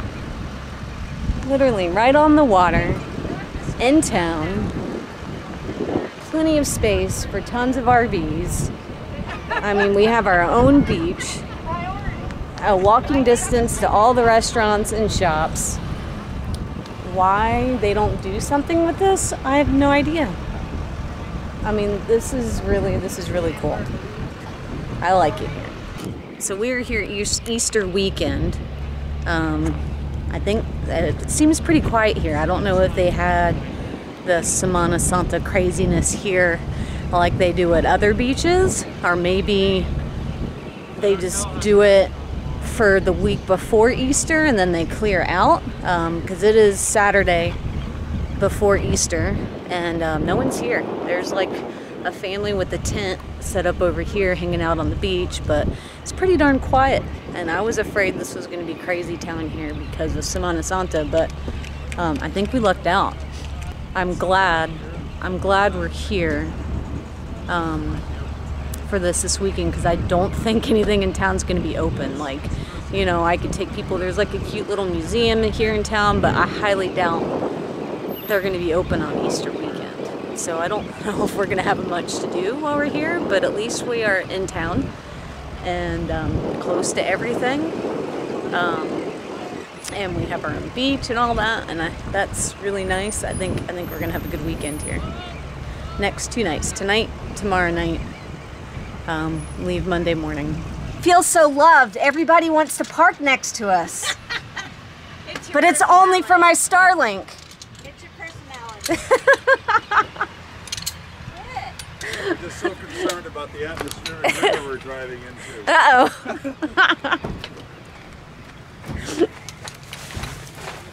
there she is. Ain't she a beauty?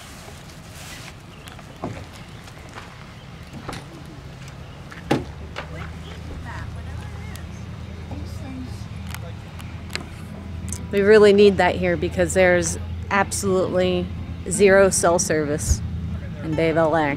So know that.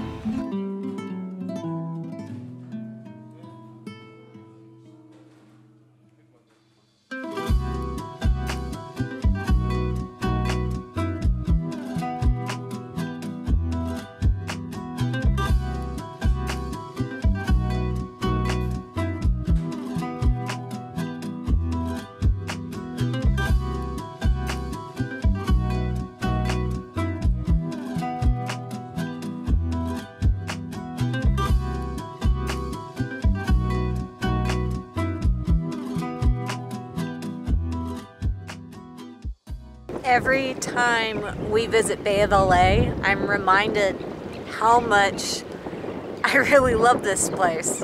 Um, gosh, it's such, there's so much beauty here. And the birds, I think that is like my most favorite at all of all, is I absolutely love birds. I love photographing birds.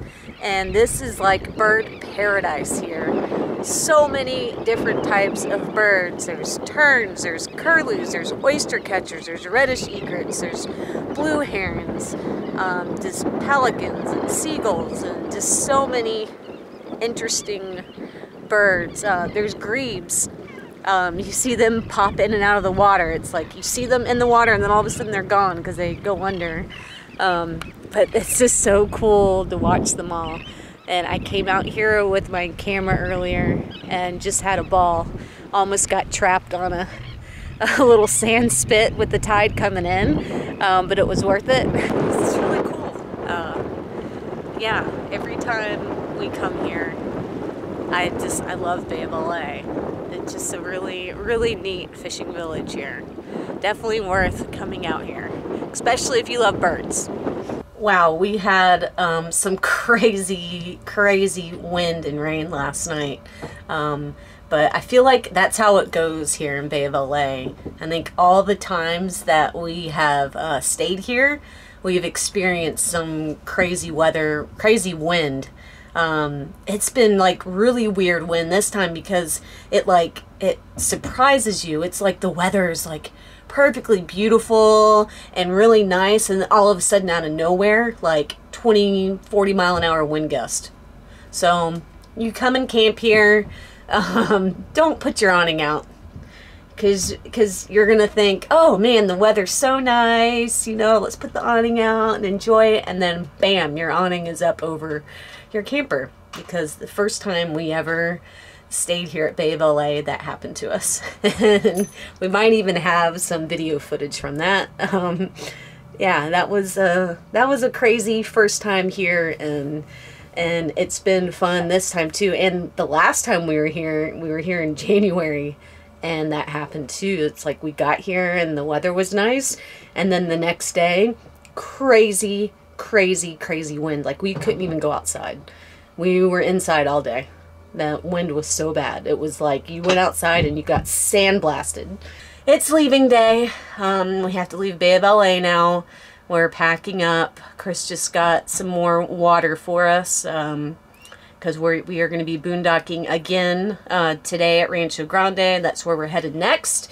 It's going to be fun and the weather's supposed to be really nice the next couple of days. So it seems like that weather system that came down from California it hit us here last night and it got it all out. So hopefully next two days uh, before we cross the border, sad, we have one day Rancho Grande and Gonzaga Bay and then a night in San Felipe and then we cross the border, which that's going to be an adventure because we have been hearing rumors that uh, Mexicali East is closed to RVs. Um, so we're not really sure what to do yet. I think it, it, it is open. It's just how to get there changed because they're doing construction. And the way than how we know how to get there we have memorized. Like we have it down pat. That's the way we always go when we cross the border back in the US and now we got to figure out another way in.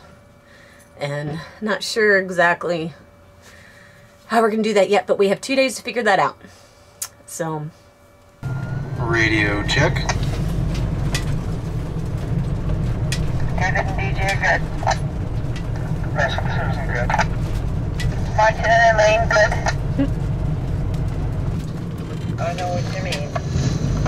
She's still with us.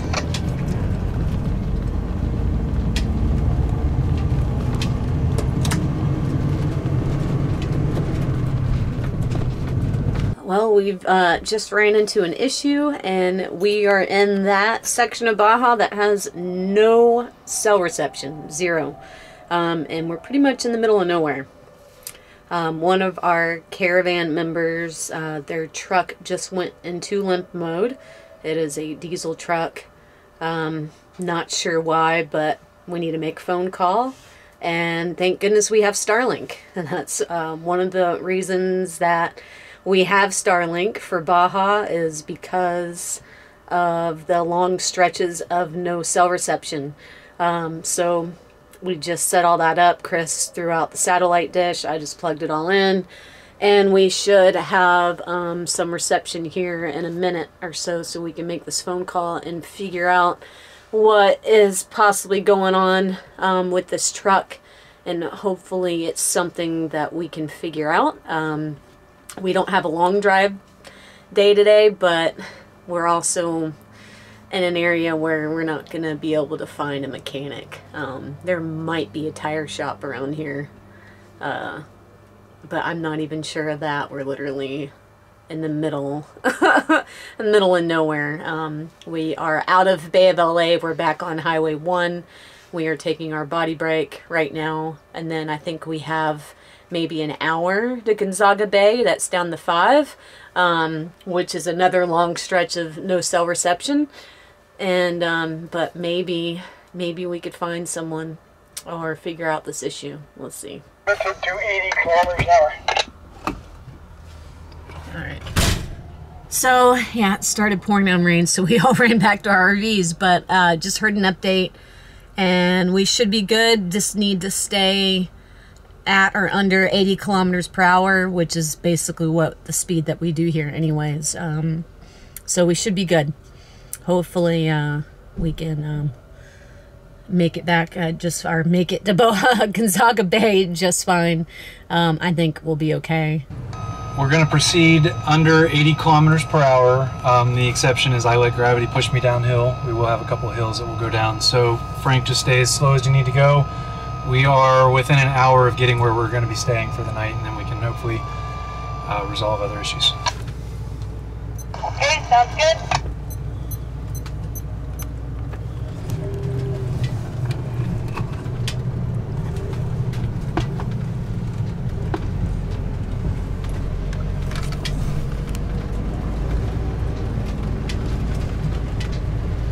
At least it's this close to.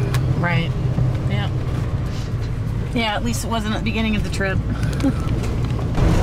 the wildflowers are just so stunning right now. Like, I wish I could capture it on camera, but I put the camera on it and it just doesn't, it doesn't capture it. I've, I don't think we've ever seen Baja like this. It's just so colorful right now. And there's clouds, which there's like never, hardly ever any clouds in Baja. Like it's, you know, gray and dreary, but it's almost making the wildflowers just pop. I mean, like everything, everything's in bloom. So pretty. All right, everybody, if you want to go ahead and get ready to wave goodbye to our friend for the last 2,000 miles or so, good old Highway 1.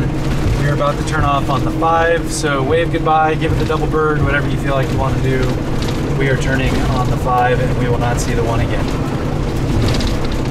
We just drove through some scary areas on the five where uh, there's like rock cliffs um, on either side of us, and because of this um, this weather that came through from California, a lot of the rocks have fallen into the road. Um, thankfully, nothing so big that it has blocked the road, but uh, there were a, a, there was lots of debris in the road. Thankful that we didn't drive through that uh, when that stuff was falling. Um, yeah. Also, the old road, when we first drove down here uh, in 2019, our first visit to Baja, we took Highway 5 down and it was not finished yet. And so we got to experience the old highway and you can still see parts of it. Um, I showed it in the camera. You can still see parts of it in areas, and it's just kind of crazy to look back and think that, wow, we drove on that. we were kind of crazy. We drove on that.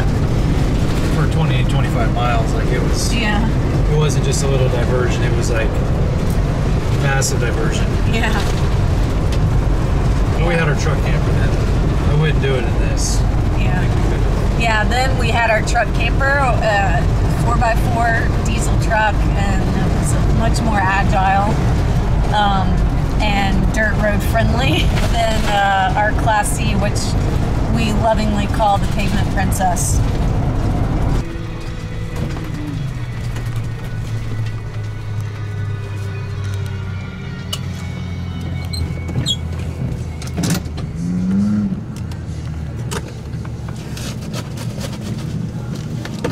We just stopped in the market to grab some snacks and to pay for our campsite and now it's time to go on to the campground. And if it's not raining, I will go on the hunt for some arrowhead sand dollars. Always buckle up first. It's the number one rule of driving anywhere. All right, everybody has their uh, parking pass. It does have a Palapa number assigned to you, so we're gonna go across the street and you will see the Palapas assigned by numbers and you'll just uh, figure yourself however you feel most comfortable. Lindsay and I are gonna park um, long ways and block in a couple of you, so we'll figure that out when we get there.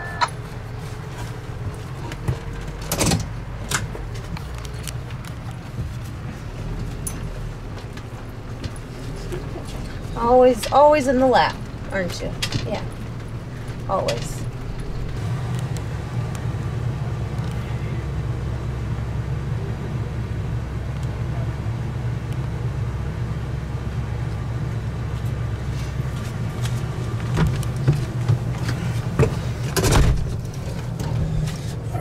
He was, he's a stickler.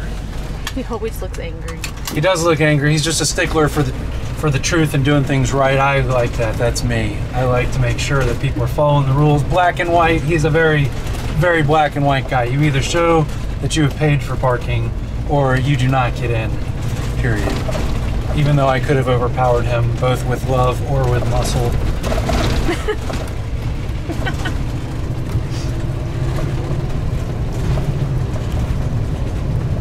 Whew.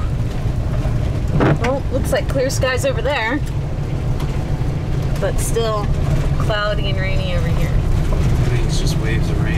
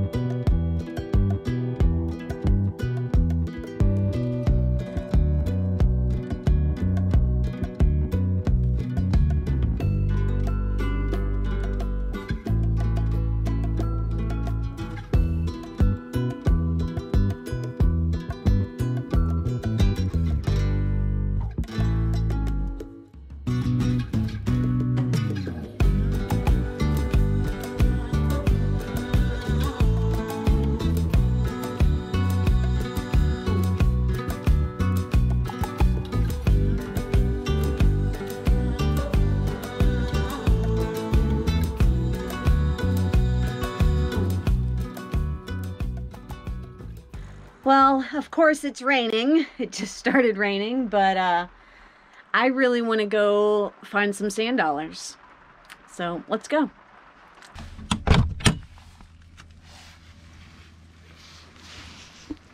It is sprinkling. Hopefully we don't get a downpour. It's been uh, raining kind of hard on and off. Um, right now, just sprinkling. And oh, the water is really pretty here. Blue. We have almost a white sand beach. It's kind of more like a, a yellow sandy beach. And um, I have not found a sand dollar yet. I've seen pieces of them, like right here. This is a piece of a sand dollar. They break very easily. In fact, here's another one. It's like sand dollar graveyard. But I'm mainly on the hunt the arrowhead sand dollars. And last time I found a bunch of them up here in these dunes. So I'm gonna go up there and look. Getting close. Man, this thing is a massive, this would have been a massive sand dollar. It's too bad it's broken. Sucks. Look at that. It's a ginormous one. I just found a giant one. I don't know if it's whole though. I'm gonna be, I'm probably gonna cry if I pick it up and it's broken because it looks massive. it's right here. Look at this beauty. Oh, please don't be broken. Please don't be broken. Please. Oh, oh, oh, oh, oh, oh, it's a good one. Oh, it's just broken at the tip. At the very tip. That's okay. This is a good one. Look at that beauty. Wow. That's beautiful. Poke the sand out of here. Whoa. Oh, I love finding these. Yeah. I think it's a little bit bigger. Actually, no. Almost the same size. Almost the same size. Pretty cool. So, two. I need to find like five more. Woohoo! Oh, this is a beauty. This one's perfect. Look at that. Ha ha ha. Oh no, he's broken on the back. Oh well, that's all right. He's pretty on the front. So I have four. Two of them are perfect. Two of them are broken, and I found a rubber ducky. Look at this little guy. He's so cute and little. oh my gosh. Look how tiny. he's a little broken on the back, but he's super cute.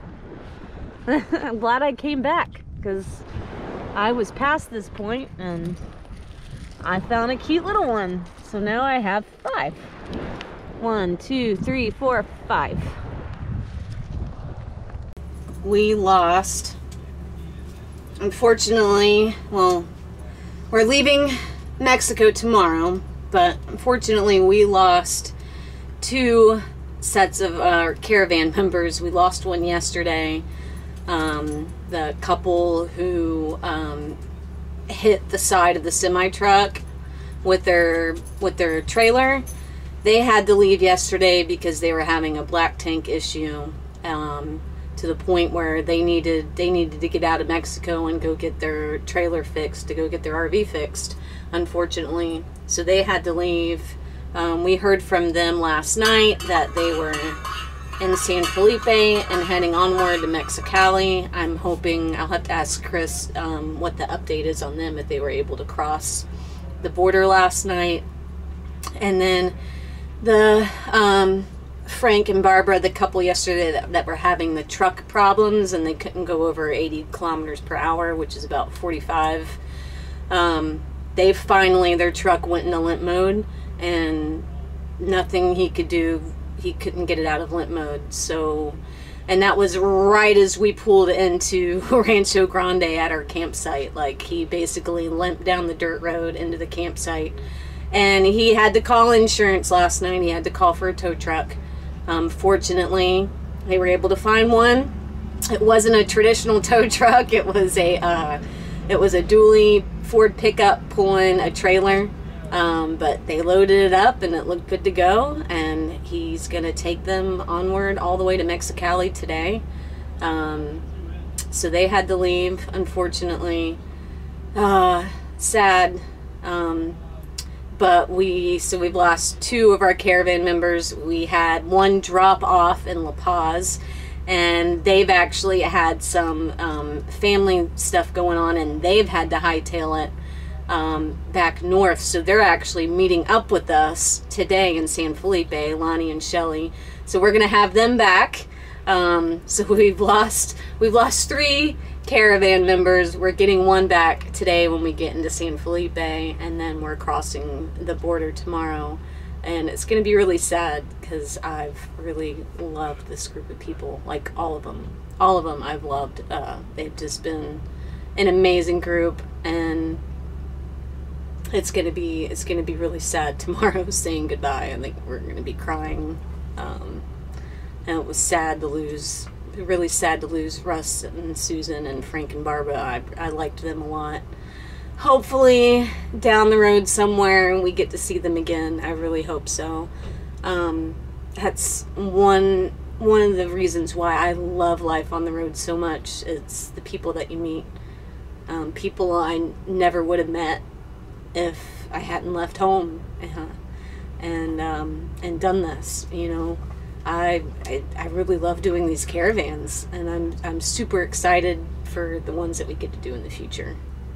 So just more of an update on um, Frank and Barbara's truck. It did unfortunately go into limp mode as soon as we pulled into Rancho Grande. Um, he was able to get a hold of his insurance. He's got Baja bound. And then you have a choice basically when you get the insurance in between, usually Chubb and HDI. HDI tends to have the better service, um, and that's the insurance that Frank had through Baja Bound. And they were able to get him a tow truck, um, and they're going to tow them basically all the way to Mexicali the tow truck driver actually said that he has a diesel mechanic friend in Mexicali that could do all the work and fix the truck. Um, so he's getting towed all the way from Rancho Grande, Gonzaga Bay, all the way to Mexicali. It's it's a long drive. It's probably about four to five hour drive up there. Um, but they did get that covered by their insurance. Um, we've never experienced a breakdown where you had to get a tow while we were here, but now we've experienced that through one of our um, caravan members, and it was good to see how that all worked out.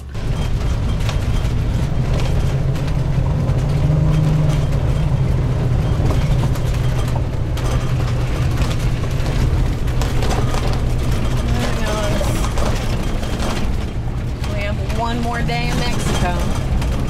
Enjoy it. This time tomorrow we'll be lining up the cross.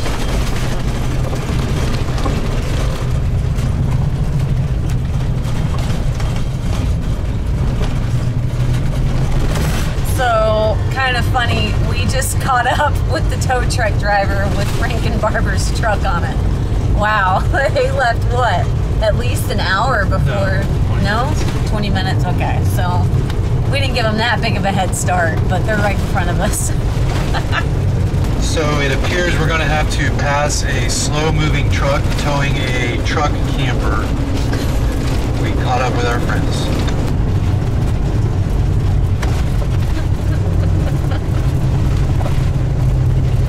I can't believe somebody would be driving so slow on the five.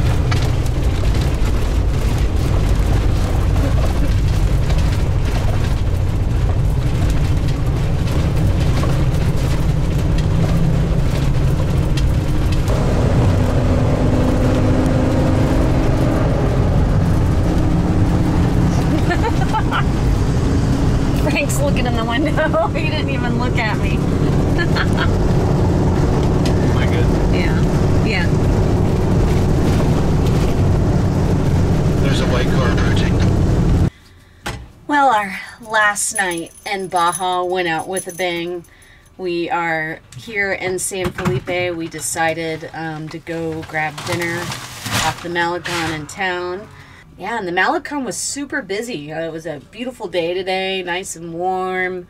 Um, there was a lot of music and a lot of uh, Semana Santa stuff still going on. There were still some tents on the beach.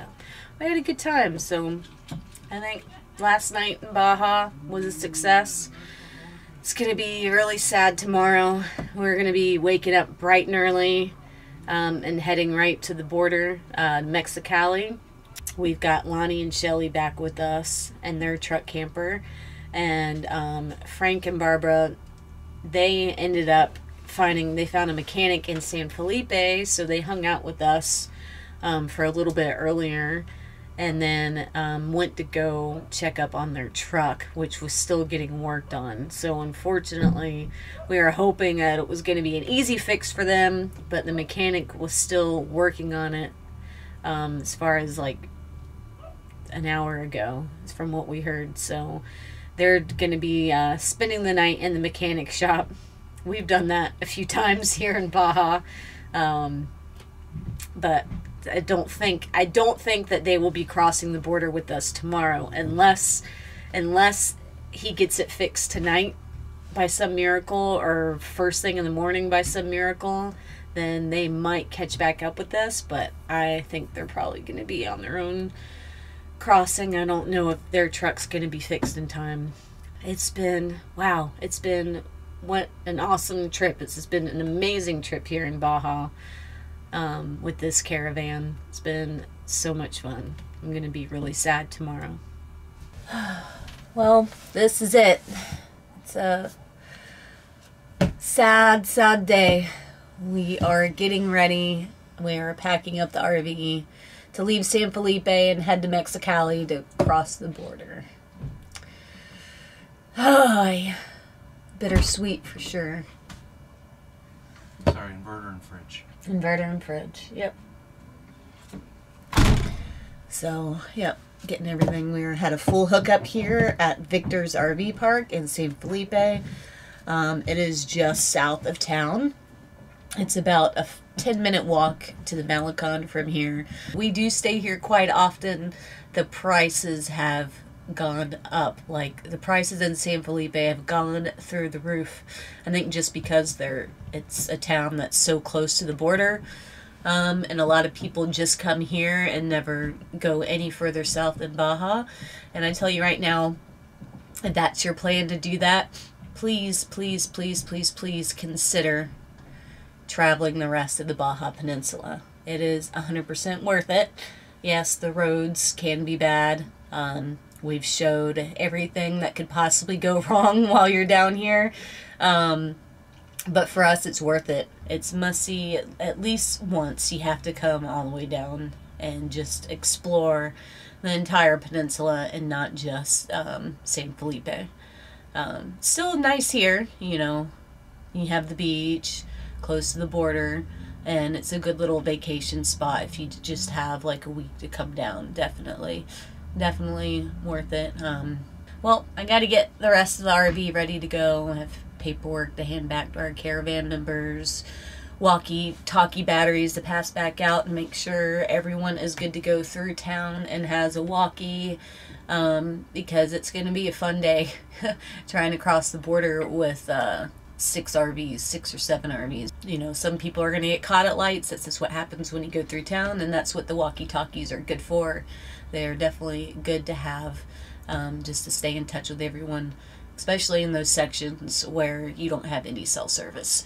But we will have cell service today. We will be in San Felipe. Um, there's pretty much pretty positive there's cell service all the way from here to the border. It's just gonna get kind of crazy hectic as soon as we get into Mexicali because we're gonna be making turns. There's gonna be you know there's gonna be lights that we're gonna have to stop at and you know we sometimes get a little separated let me finish packing up making or let me finish making coffee and packing up the RV and then we are gonna head on out.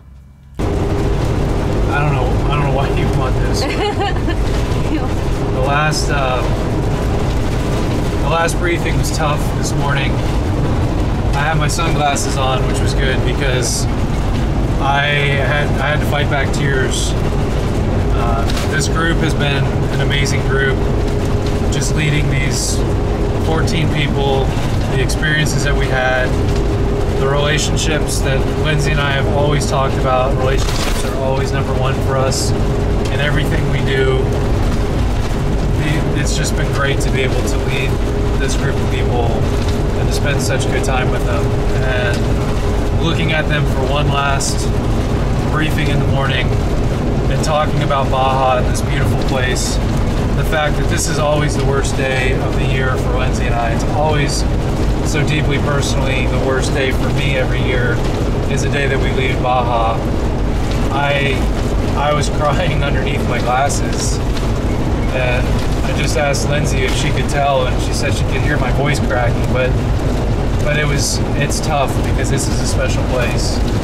Yeah, I could not I could not tell he was crying, but I definitely heard him losing his voice, but I didn't think that we were close to tears. And I don't mind admitting I'm a, I'm a boy who cries because I get connected to things and people, and, and that's part of life and living. And And that's what makes this place so special for us is the people that we've met, whether we've been leading caravans or people we've met over the last five years coming down here, or locals that we've gotten to know, business people that we support. Just it's been it's been a special place. And the last day is always the hardest day. We know we always plan on coming back. We pray that we get that opportunity, but in case we don't, I always leave it with everything that I have. And that's this emotion I feel right now.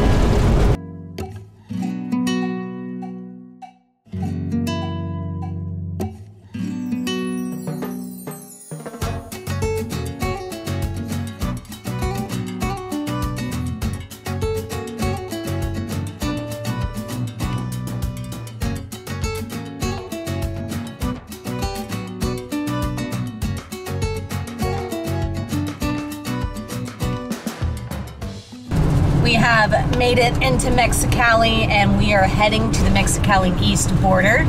Um, we are taking a different way in than what we normally take. We are coming in from the west side of town.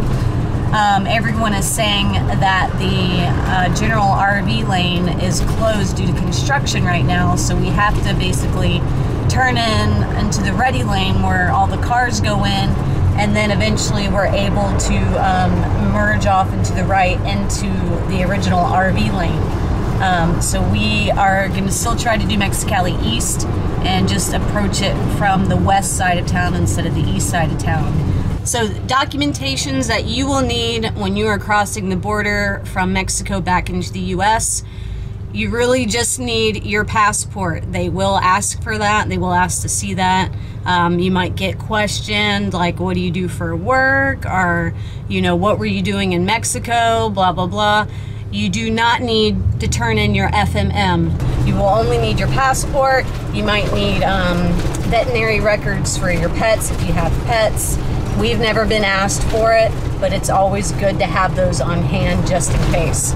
As far as inspection goes, all the times that we have crossed the border, we've only been inspected or gone into secondary inspection once. It's always completely luck of the draw. It just, it, it, either get a red light or you get a green light. you get a green light to just keep going through, or you get a light to go into secondary. And RVs can fit inside that secondary bay. There's the border wall. Try to get all the way over to the left. This is where we're going to start queuing up to make that left-hand turn, God willing.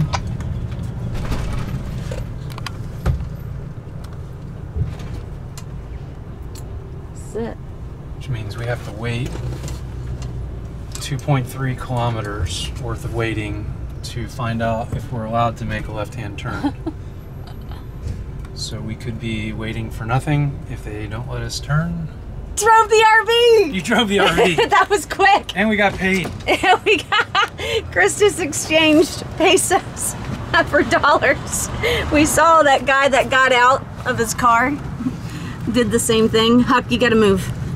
And uh, I'm trying to get back in the passenger seat.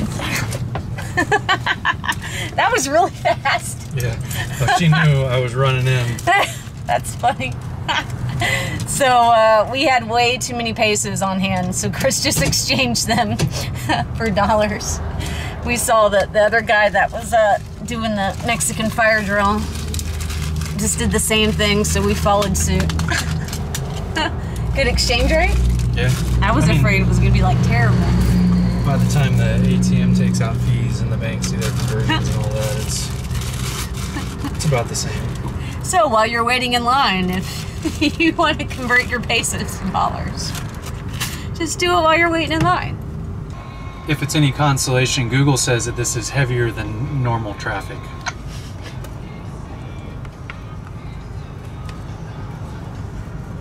I, for one, feel better. Thanks, Google.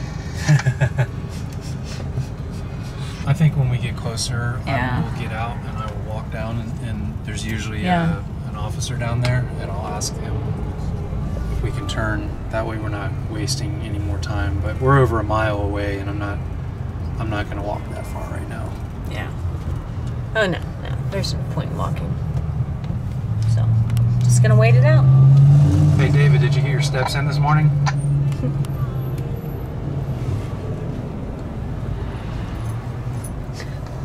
uh, maybe I should put on. Yeah, I was just thinking if you wanted to go ahead, we're about a mile and a quarter away from the left-hand turn and talk to the officer there and make sure we can all turn through. That'd be great.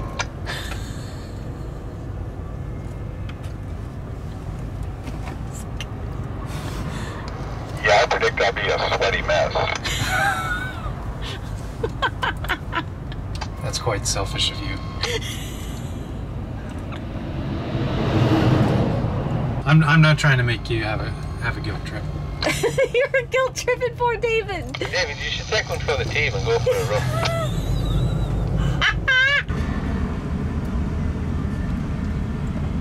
I'm gonna move up.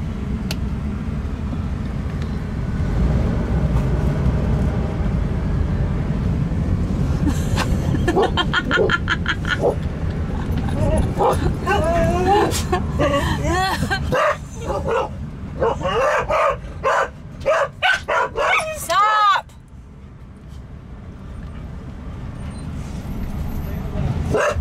This lane?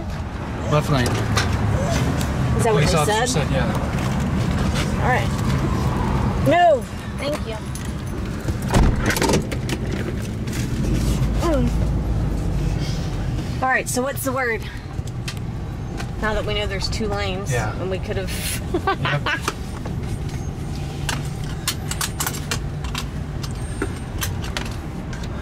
Well, I got David stepped in. Um, the police officer said we are able to get through here, so looks like there's two left-hand turn lanes. He pointed to the one on the left. Got a bad feeling we're gonna have to be in the one on the right, but he told me to get in the one on the left, so that's what we'll do. Okay. Police officer told us to stay in this left lane, but I don't It says see. SENTRI. It does. It's gonna say that. They said everyone said ready lane.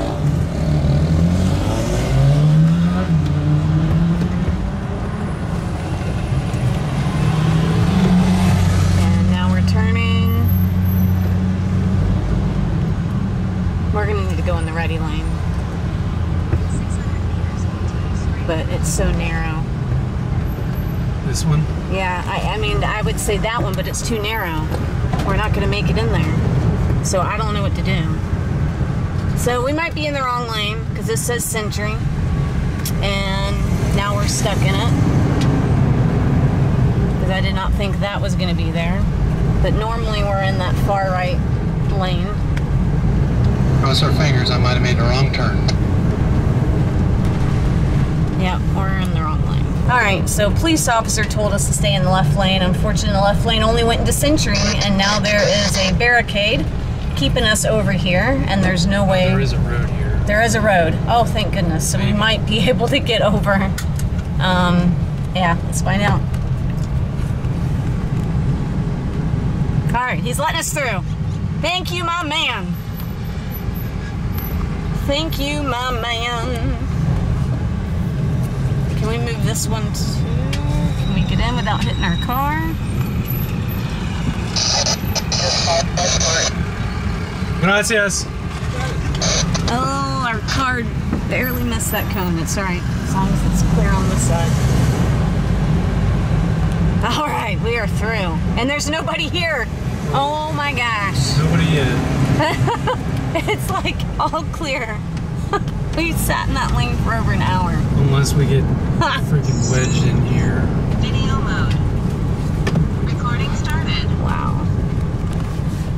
Ooh, thank you that that guy was there and he moved cones for us because that was a little nerve wracking leading uh, our whole caravan in here, ending up accidentally in the SENTRI Lane. But man, it's like clear sailing. There's nobody here, and normally we would be over here. Um, but it's definitely blocked off. Look at that. So see where that bulldozer is is normally where you would be with RVs. Yep, we made it in. It looks like there's barely a wait. This is the all the construction is right here. This is the lane we would normally be in with the RVs. um, now we have to go all the way to the right because these are the new uh, X-ray machines they installed that we will not fit in. So we go all the way to the right here.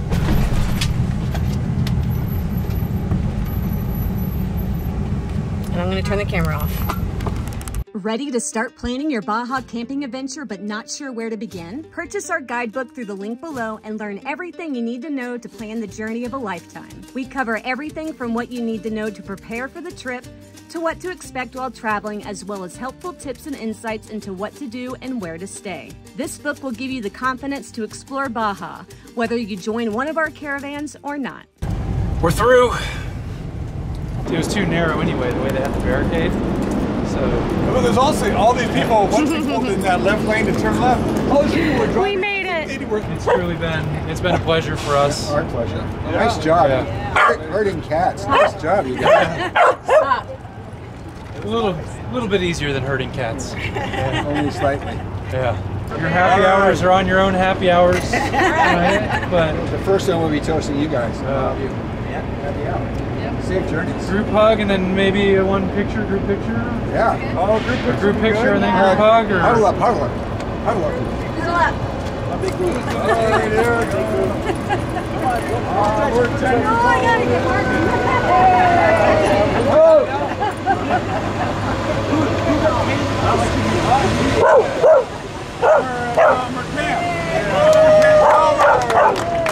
great memories. Keep them.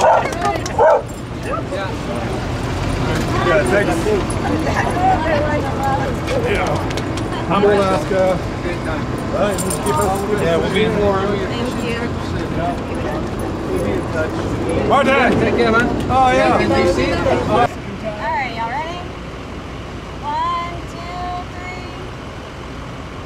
Perfect. All right. All right. No more motion.